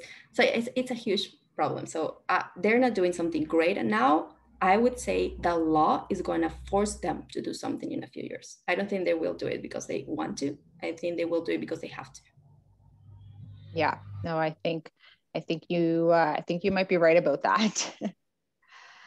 uh, any other questions in the group chat or in the Q&A box here? I know there was a really lively conversation happening, and someone referenced uh, the social dilemma. I'm sure you have watched that, and that was very, uh, very frightening yeah. uh, to, to watch that. Yeah, I don't know if you have watched it. The Social Dilemma is on Netflix. You should. I think like a lot of I was always talking about this with my friends and family, and they were like, "Okay, yeah, it's a problem, but it, it's just a problem." And then they saw this documentary on Netflix, and they were like, "Oh my god, you were right." and it's funny um, because it's a it's a very great documentary um, on Netflix. It shows that it's not just the business model itself. I've said before, social media has a lot of disadvantages as long as advantages. But yeah I, and that's why i think like government needs to step up and actually try to understand what's why it's a good idea to get more legislation about that because why is the um, why is the goal for social media right? Because it it's now everywhere. Like i don't know if any of you have never used an, any social media so it, it, it would be weird right? Every, everyone is there. So i think like yeah we need to make great rules in order to make it work. Well, that's a very interesting comment because it ties into a question we just received. Um, and it starts off by saying there are positives to Facebook helping create communities, especially during the last year. If not Facebook, then what are the alternatives? Yeah, totally. Uh, I'm not saying again that they're the devil. I work with them. so, um, and again, I don't know. Uh, I think we need to step up as students, uh, as citizens to actually create solutions. There are a lot of apps now, there are a lot of social media apps that they're actually taking into account data, right? And that's a great thing. They're not that popular. And I think one of the reasons is because people don't understand why is this a problem um, or why is this unfair, right? And that solution, I would say if you are actually um, thinking about switching or making a change, I would make two suggestions. One is like start using apps that are actually care about their Telegram. There, there are a lot of them, right? They're just not popular, but like force your friends to be there. Like just just try it. And the second is create ventures that actually challenge them, right? There might not become multi-billionaire companies, but there actually will be a pressure in society that we need to change. So yeah. That's that's great. We're just uh, we're reading the questions here as they come in. So this next question asks, why not adjust the algorithm to mix in quote unquote 20 to 30% contrary views based on sentiment analysis of the political slash social views. This might reduce the echo chamber effect. That's yeah, I I thought was why could be one of the solutions too. That's for the polarization point of view. But I understand they take decisions not just because what is good for society, but what is good for their business. Like their stakeholders are there to make money. So they're always going to create a, uh, an algorithm that actually keeps you in the app. And that means, as everyone, we all like to be right. We all like to be in our phones just to assure us that we are in a good path. And if we do, if, if we do what we say, I might think a lot of users are going to get annoyed and just change the channel. Like when you're in, in, TV and you don't like something, you just change the channel. And that might happen on Facebook. They, if you see, if you start seeing something that you don't agree with, and you're this specific type of profile that they want to be right, there is a lot of people in the world. Um, you might just like escape Facebook and go to Twitter or go to somewhere else. And that's not good for business for them. And it's not a decision that they might take. And so that's why I'm always say they're not going to change because they want to, they're going to change because they have to. I think the government is going to make, I mean, they're actually fighting kind of legally now, um, but I think it's going to step up like a way more, uh, in a way more bigger war, kind of. So, but yeah, I, I think it's not just we cannot force them to change their algorithm because that's part of their business but i would love that. I, I would love it to be like that. Yeah no all, all very good points. This next question is uh, so let me see here. So it says what do you think about china's social credit system which takes the tracking of behavior to a whole other level yeah um, if i don't like facebook apps I truly don't like Chinese apps, right? Um, I met some Chinese friends and they said sometimes when they talk in on their like WeChat and other apps that they have, they, they usually don't use Facebook companies apps. Um, sometimes they're talking something bad about the government and the message gets erased. Like they, they cannot talk about that a lot, but it's very creepy what's going on there. And I don't know if if the government should step up until that um, level, I think that's dangerous because we need freedom. But I think it's a very difficult conversation, right? Um, it should actually, I mean, they should work with the law just until a very into a line that is gives you freedom, but also like try to make a society a better place, right? Because that's that's why the government is there. But yeah, I don't think at all that we should go to the the that limit that China is doing, right? That I, I wouldn't I wouldn't like living in in a place like that if that's what's happening. Yeah, no, that would be that would be an extreme shift that I I don't know uh, don't know how uh, we would we would make sense of that. So um, just trying to see here. Any other questions? Just going through the chat here. Everyone is just thanking you for such a great presentation, high energy, eye opening. Uh, so thank you very, very much. This was this was fantastic, and uh, we're we're just so pleased that you were able to join us today. So thank you. Thank you. Bye. So now we are uh, going to our final presentation of the of the morning. And our next speaker is Anne Rush. She is an ALM uh, and management graduate, class of 2015. Same, same year I graduated, Anne. So I don't know if we ever crossed paths at all. Uh, her topic is uh, timely on its own, but I think even more timely given the past, you know, 12 to 18 months when we think about COVID and and the impact that it's really had on on people working, you know, kind of assessing in terms of like where they are in their life, where what they want to do with their career. And so we're so, so excited that uh, you're able to join us here today, Anne. The topic is called freelancing and the future of work. So without further ado, over to you, Anne.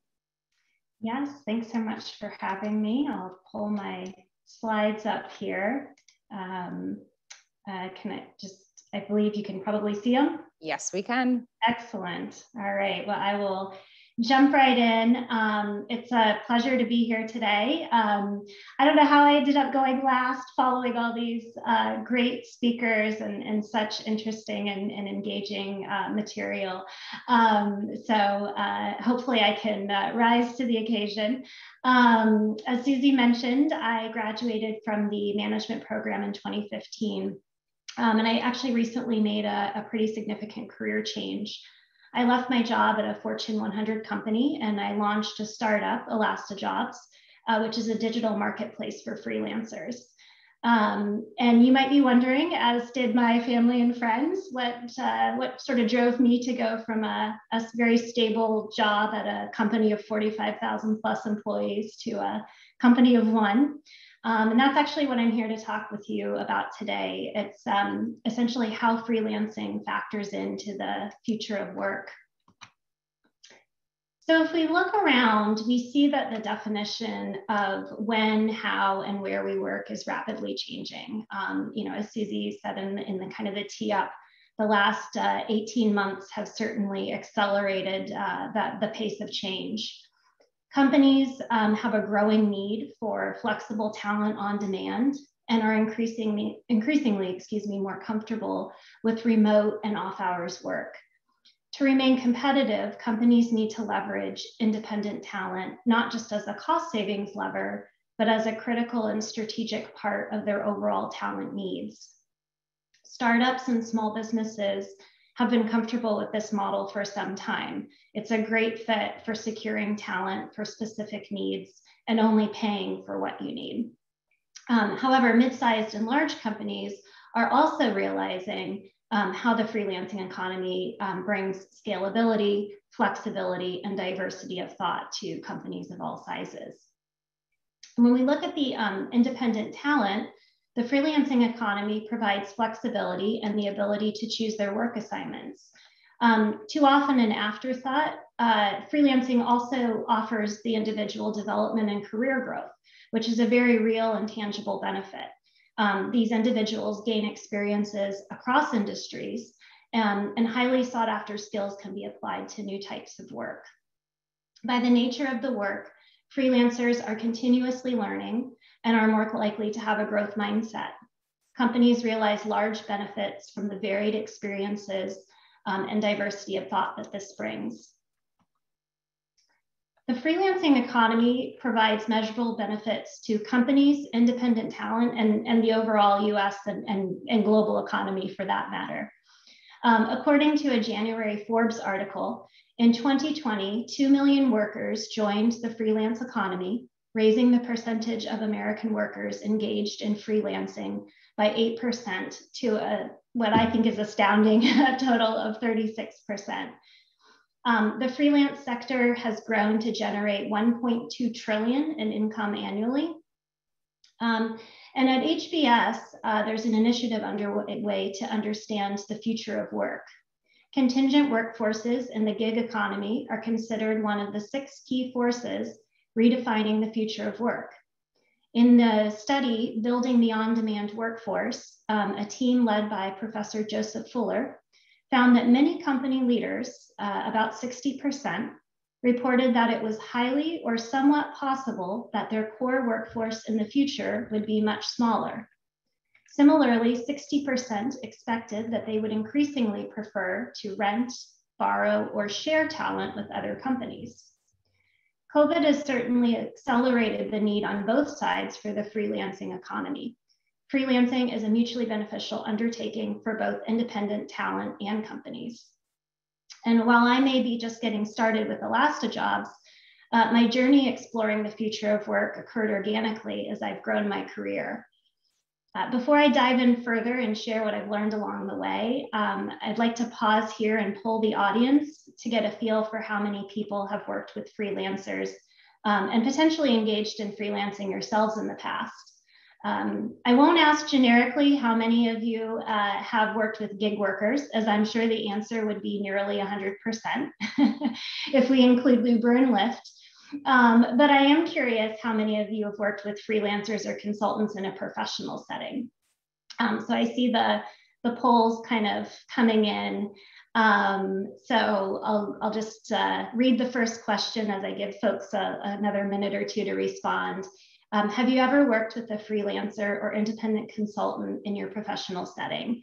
Um, so it looks like it, it's about 73%, 74% yes.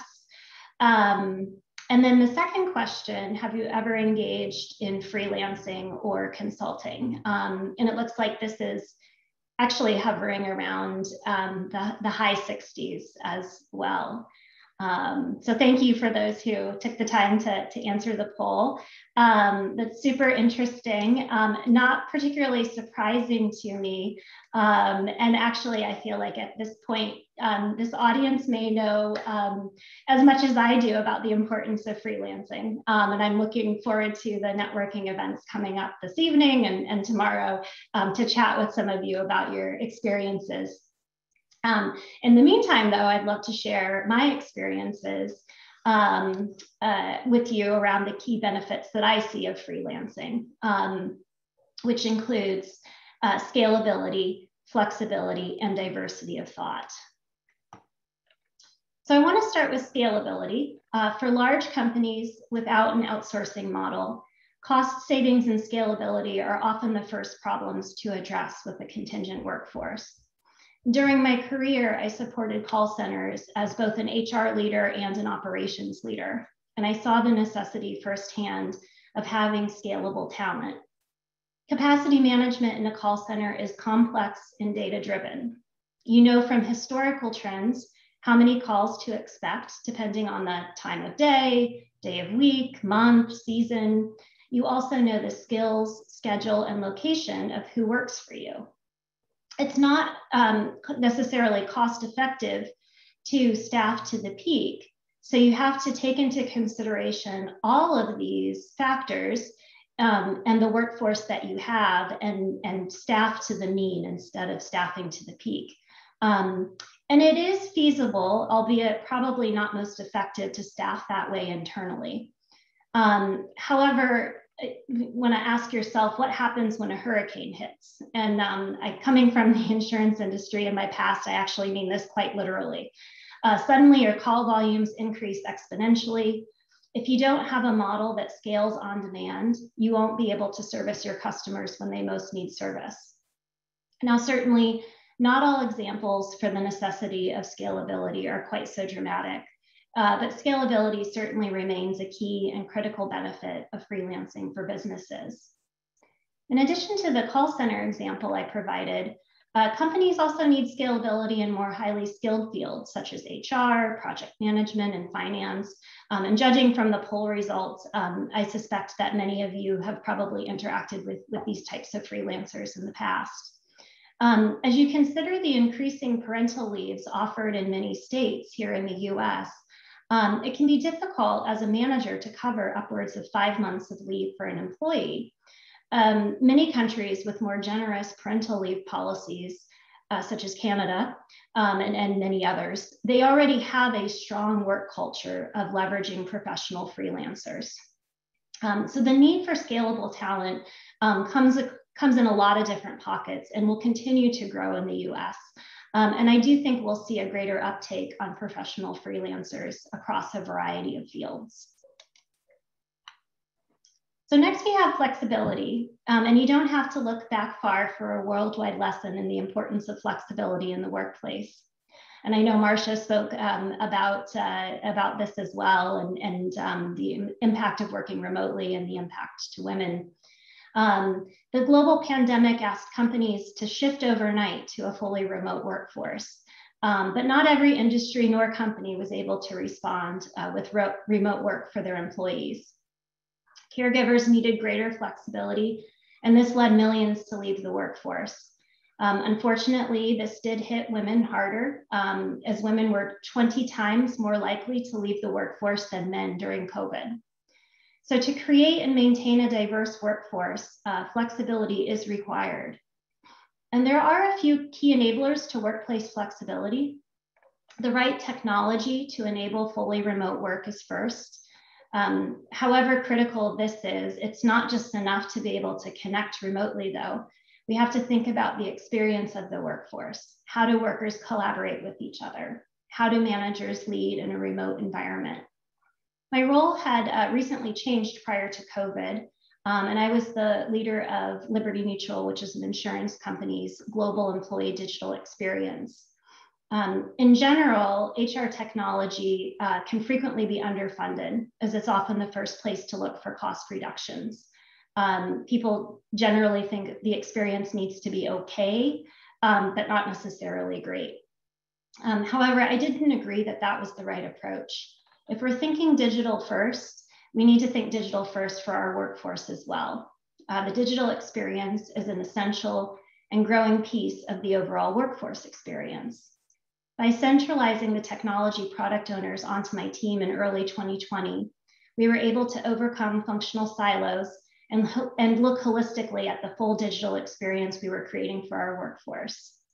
Um, COVID increased, certainly increased the focus um, on the workforce's digital experience as a critical enabler of successfully working remotely.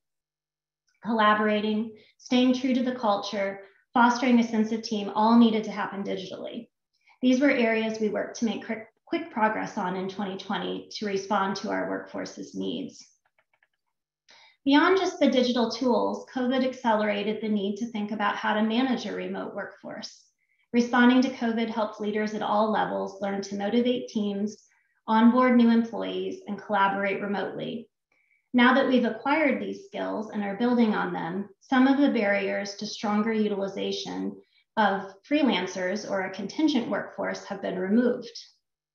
The need for flexibility is definitely here to stay, and companies need to consider this as they create their workforce models in the future. Of freelancers surveyed by FlexJobs, 89% said that they chose the, to join the gig economy because it offered better work life balance. companies need to be planful and continue to improve their ability to offer work flexibility for employees and, and freelancers alike. The third benefit that I see of freelancing is all around the diversity of thought that freelancers bring to their work. Freelancers benefit from applying their skills across a variety of industries, as well as applying their skills to unique work assignments. Outside of freelancing, it is very difficult to get this level of career building and learning. Companies also benefit from this. Freelancers bring these skills as well as a fresh perspective with them. They bring diversity of thought to the teams they work on. Companies need to think about how they can fully leverage this benefit and how they break up work assignments for freelancers. I've had several points in my career in which I saw the benefits of short-term assignments, um, such as you might use a freelancer for. Several years ago, I took a role leading a campus recruiting team, and we built out a new rotational program for MBAs. Before taking on the role, I definitely understood the value that the um, employee or, or new, new, MBA got from those six to nine month rotations across the various areas of the business. What, a, what an awesome learning opportunity. Um, however, uh, when, when designing the program, I began to realize um, and see firsthand the benefits that the departments that hosted one of the development program participants received. Um, the individual brought a fresh perspective, they thought about things differently than those who had been on the team for several years. Then later in my career, I worked in technology product management during an agile transformation. I saw that working in an agile way can be an enabler to engaging with freelancing talent. Projects don't need to be approached for two to three years or managed for two to three years. Work can be broken down into a minimum viable product with epics and sprints. In addition, teams can be self-governing around each sprint and assign work accordingly. This approach enables the group to understand the skills and knowledge that is needed and then match that with the team members and assign work accordingly. It, it's also a great model for um, enabling freelancing because even if the freelancers don't have institutional knowledge, they can successfully contribute to an agile project um, and bring their fresh perspectives um, and things they've seen at, at other companies. Um, in fact, given the variety of their past work assignments, the freelancer may be able to bring more innovative thinking uh, than even an insular team would. So as we look toward the future of work, we're going to uh, see companies more frequently integrating freelancers into their overall workforce plans. Digital marketplaces uh, such as ElastaJobs uh, make this process easier to the benefit of freelancers and companies alike. The marketplace concept enables companies to find the skills they need on demand, and freelancers get access to a wider variety of work opportunities. As the number of contingent workers grow further from the 36% it is today, freelancers will become a larger component of the future of work. As I've realized through my career, companies need to be focused on scalability, flexibility, and having a diverse talent pool. Meanwhile, workers are seeking greater flexibility and a challenging and rewarding career. The growth of freelancing is this intersection. So that uh, kind of concludes my overall presentation and I'll see what questions we have. Thank you so much, Anne. That was uh, that was fantastic. Really, really enjoyed that. Thank you. Absolutely. Let's jump into some questions here. So someone said, love the agile approach. I was wondering how, oh, this is a good question. I was wondering how institutional knowledge would be addressed. Yeah, it, it, that actually is a great question. And it's really important um, so while I think freelancers bring a ton of benefits to companies that they work with, um, it's also really important for the company to think about um, how do they onboard the freelancer enough so that they can truly add value? Um, and um, you know i know in some instances companies are thinking gosh this is a freelancer they're not going to be here long. I don't want to devote the time to bringing them on. But the, there is some level of you know institutional knowledge or onboarding that needs to happen. Um, and it's, it's kind of difficult to provide a generic answer because of course it depends on the the company. It depends on um, what you uh, what the work assignment is um, you know et cetera. But um, i do recommend to companies um, and they can you typically leverage whatever they have for an employee onboarding packet. So if you already have an employee onboarding packet that you know shares um, at a glance your company values, your team norms, all that great stuff, you know, why not provide it to the to the freelancer as well, um, so that at a minimum um, the freelancer can kind of get up to speed um, to the level that a, a new employee would be. Um, and then you know, the freelancer is going to most likely either need to work to be and be part of a team that will have that institutional knowledge, or the um, work product that the freelancer produces is going to need to be pretty specific um, so that the company can kind of just take that and then insert it back in um, into the overall project. So there are a few different approaches, but it's a, it, to, to your point, Susie, it's a great question um, and it is really important um, aspect. Yeah, no, that's uh I never thought about that, but it's almost like thinking about some type of like speed pass for you know freelancers or what does that experience look like? So yeah i, I thought that was that was very interesting. Uh, next question here says one of the stumbling blocks that prevents people from doing freelancing is the need to uh, oh is the need for affordable health care at least in the us what have you seen people do to be able um, to, to do as freelance while maintaining their health care?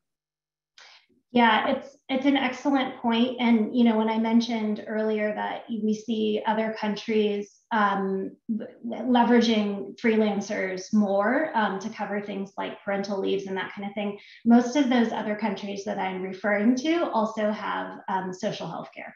Um, and so um, uh, one of the things, so I have the benefit of being in Massachusetts.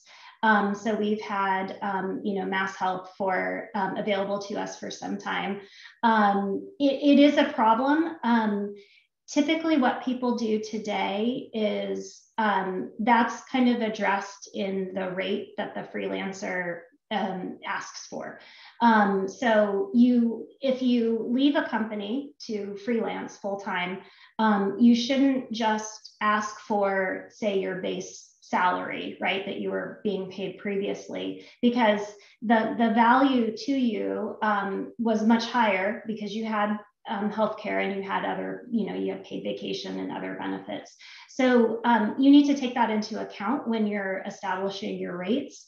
Um, and um, companies expect that too. They, they know they're going to pay, um, you know, actually, it's not overall more because again, for an employee, they're paying for that as well. But they they do expect um, you to, you know, have a bit higher rate because you're covering a lot of things that um, that a company would normally provide for for an employee. So um, I don't have the answer to, to healthcare. I, I wish I did. I, it's, it's definitely a, uh, an area that, um, you know, kind of outside of, of ElastaJobs, I, I feel very passionately about that we need access to healthcare and, and, and mental health in, in particular is an, an area of interest of mine. Um, so I don't have that solved, but I, it is important to um, consider when um, at least establishing your rates as a freelancer. Yeah, no, if you happen to ever crack that code, Anne, please, come please back come back. you can have Absolutely. all three hours to yourself. Absolutely. um, next question here is, uh, and just heads up to everyone, I'm following the chat and the, the Q&A box. So trying to, trying to get through this. So uh, thanks for your patience. Next question is Do you see a greater need for freelance generalists or freelance specialists in the future of work? Yeah, that's a great question. I think it probably depends on where people are in their career. Um, I think in general, companies are already um, leveraging, I guess, freelance generalists. Um, so that might be um, a bit more junior level um, kind of a jack of all trades. I can run reports. I can, you know, create PowerPoints. I can manage projects. I can, um, and um, I think a lot of companies are, are using those today um, and will continue to do so. And, and it probably will grow to, to some extent. Um, the other area that I think is going to perhaps grow even further are those specialized skills. Um, in particular, uh, you know, if you think about smaller companies um, or even large companies that are based in um, areas of the country that maybe um, aren't as populated, or um, those companies are going to be looking to hire for a particular skill set, um, data science as an example, data analytics. Um, and they may not um, be able to afford to uh, hire someone full time, or they may not be able to attract um, someone to come and you know live in that area of the country. And so I think we're going to see a lot more um, specialized freelancing in some of these key fields um, where, you know, back to, to my earlier quote of the um, on building the on-demand workforce uh, study being done at HBS, you know, the, that, that mindset of, hey, I can, I can sort of quote unquote rent my, my talent in this key area um, and fill this need um, without trying to, you know, build up a full team internally. So um, that was a long answer, but I guess I would say probably the specialized freelancing growing at a, a bit faster pace than, than overall, but I think both are going to grow. Yeah, no, I, I agree with you um, because I, you know, to me, I always thought freelancing was just this specialized skill and you know you were going to go kind of out of your way and maybe disrupt a little bit internally to bring that person in um, but just recently at work, we needed uh, just a, a, project manager who mm-hmm. could just come in and doesn't even need to be a subject matter expert when it comes right. to the matter, but knows how to keep people on time, manage budgets. And uh, it was just work that we had secured and it, we just didn't have capacity. And so um, just so interesting to see that there the freelance spectrum is is just so broad. So that was really mm-hmm. interesting. Absolutely. Um, this next question here is um, here we go. How would government actually manage freelancers in terms of taxing issues? So the freelancer is um, is independent, um, and um, some freelancers will set up um, like an LLC or a, a proprietorship um, in their own name to um, distinguish between, you know, this is this is me as a person and this is me as a company. But but if you if you have a proprietorship or an LLC, you um, you can include the taxes with your individual taxes. I'm speaking to the US. I, will be honest, outside of the US, I, I don't know how freelancer taxes work.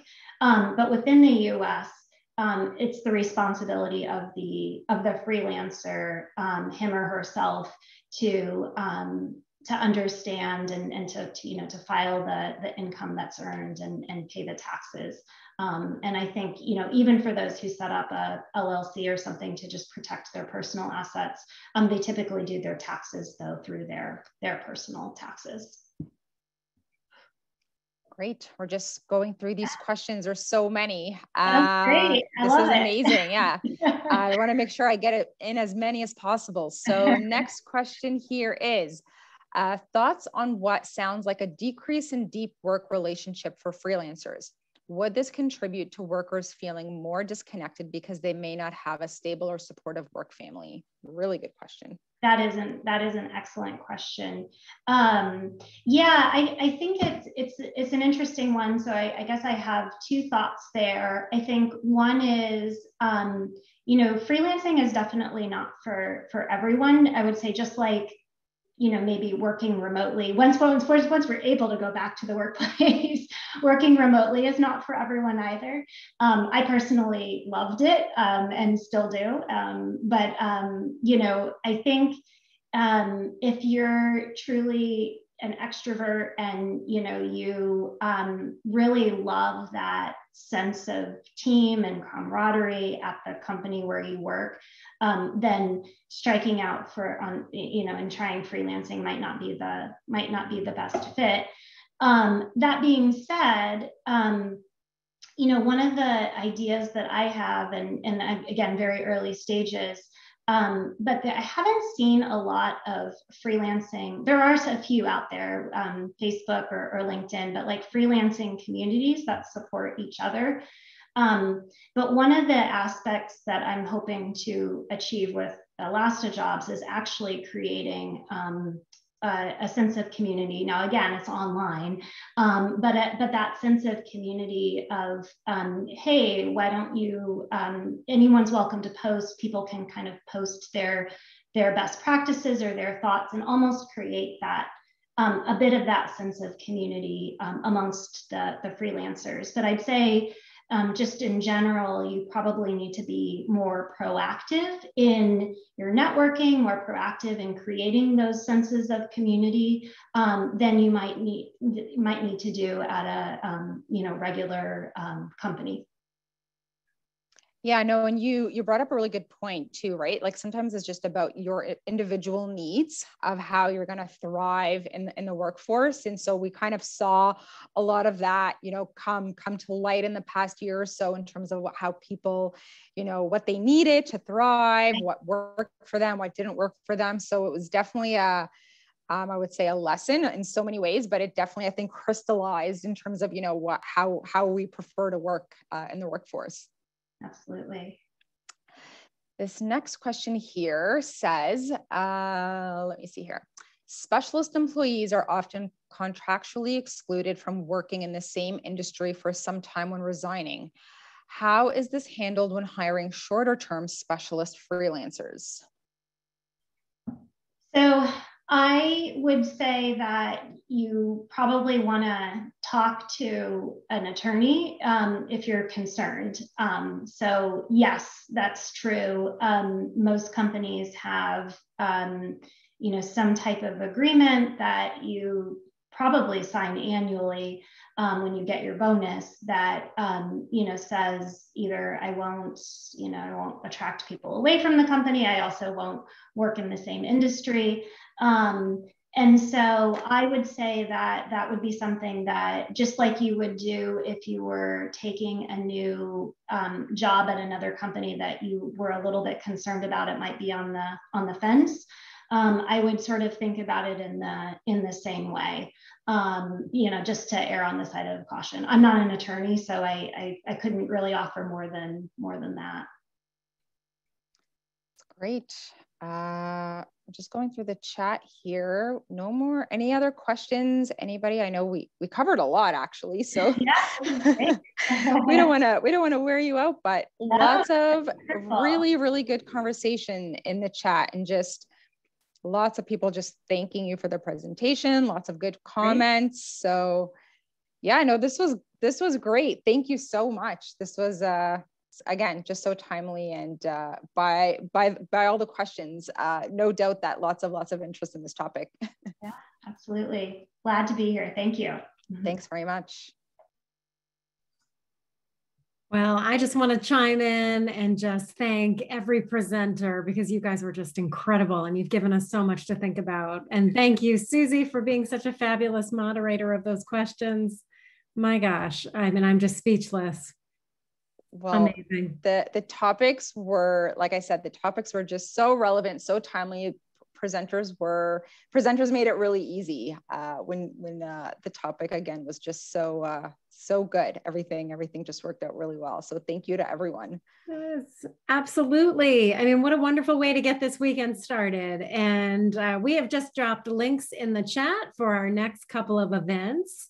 So if you check it out, there are direct links also by email that were sent to you yesterday and I believe again this morning. So, you know, we will see you for a Fogg Art Museum uh, tour and then we will gather back on Zoom to meet the board of directors and some of our wonderful chapter leadership. And we can um, ask them all about what they're thinking, what they've planned over this last year, and where they see that board headed. And we are in an election cycle, so there's so much to talk about. And Susie, thank you for serving on that board for the last several years and putting so much hard work into making this event so successful. Oh, well, Jill, thank you to you and your team. Uh, is like I said, just so collaborative uh, and just so fantastic. And uh, I'm just so grateful of all the relationships that I've built along the way. And uh, I know it, it won't end after my, my term uh, is over. So thank you. Oh, Amazing. And you managed this in the middle of a move. Yeah. I did. Yes. so I have like Jeez. boxes and just stuff shoved right here. I'm like touching it right here. so I tried to clear clear the background to make it at least somewhat presentable. And I was trying to adjust the lighting. So uh, I don't know. I don't know what's going on, but I'm here. I'm, i was present, and uh, like I said, everyone everyone was so fantastic, and uh, you can't see can't see what the chaos that's happening here. So hopefully it didn't it didn't come through. no, I mean I let the cat out of the bag, but talk about resiliency and adaptability. That's what our community has in common. You just get it done, right? Yep, absolutely, absolutely. All right. Well, thanks everybody. We are going to conclude this session and we'll see you at the next. Thanks, everyone.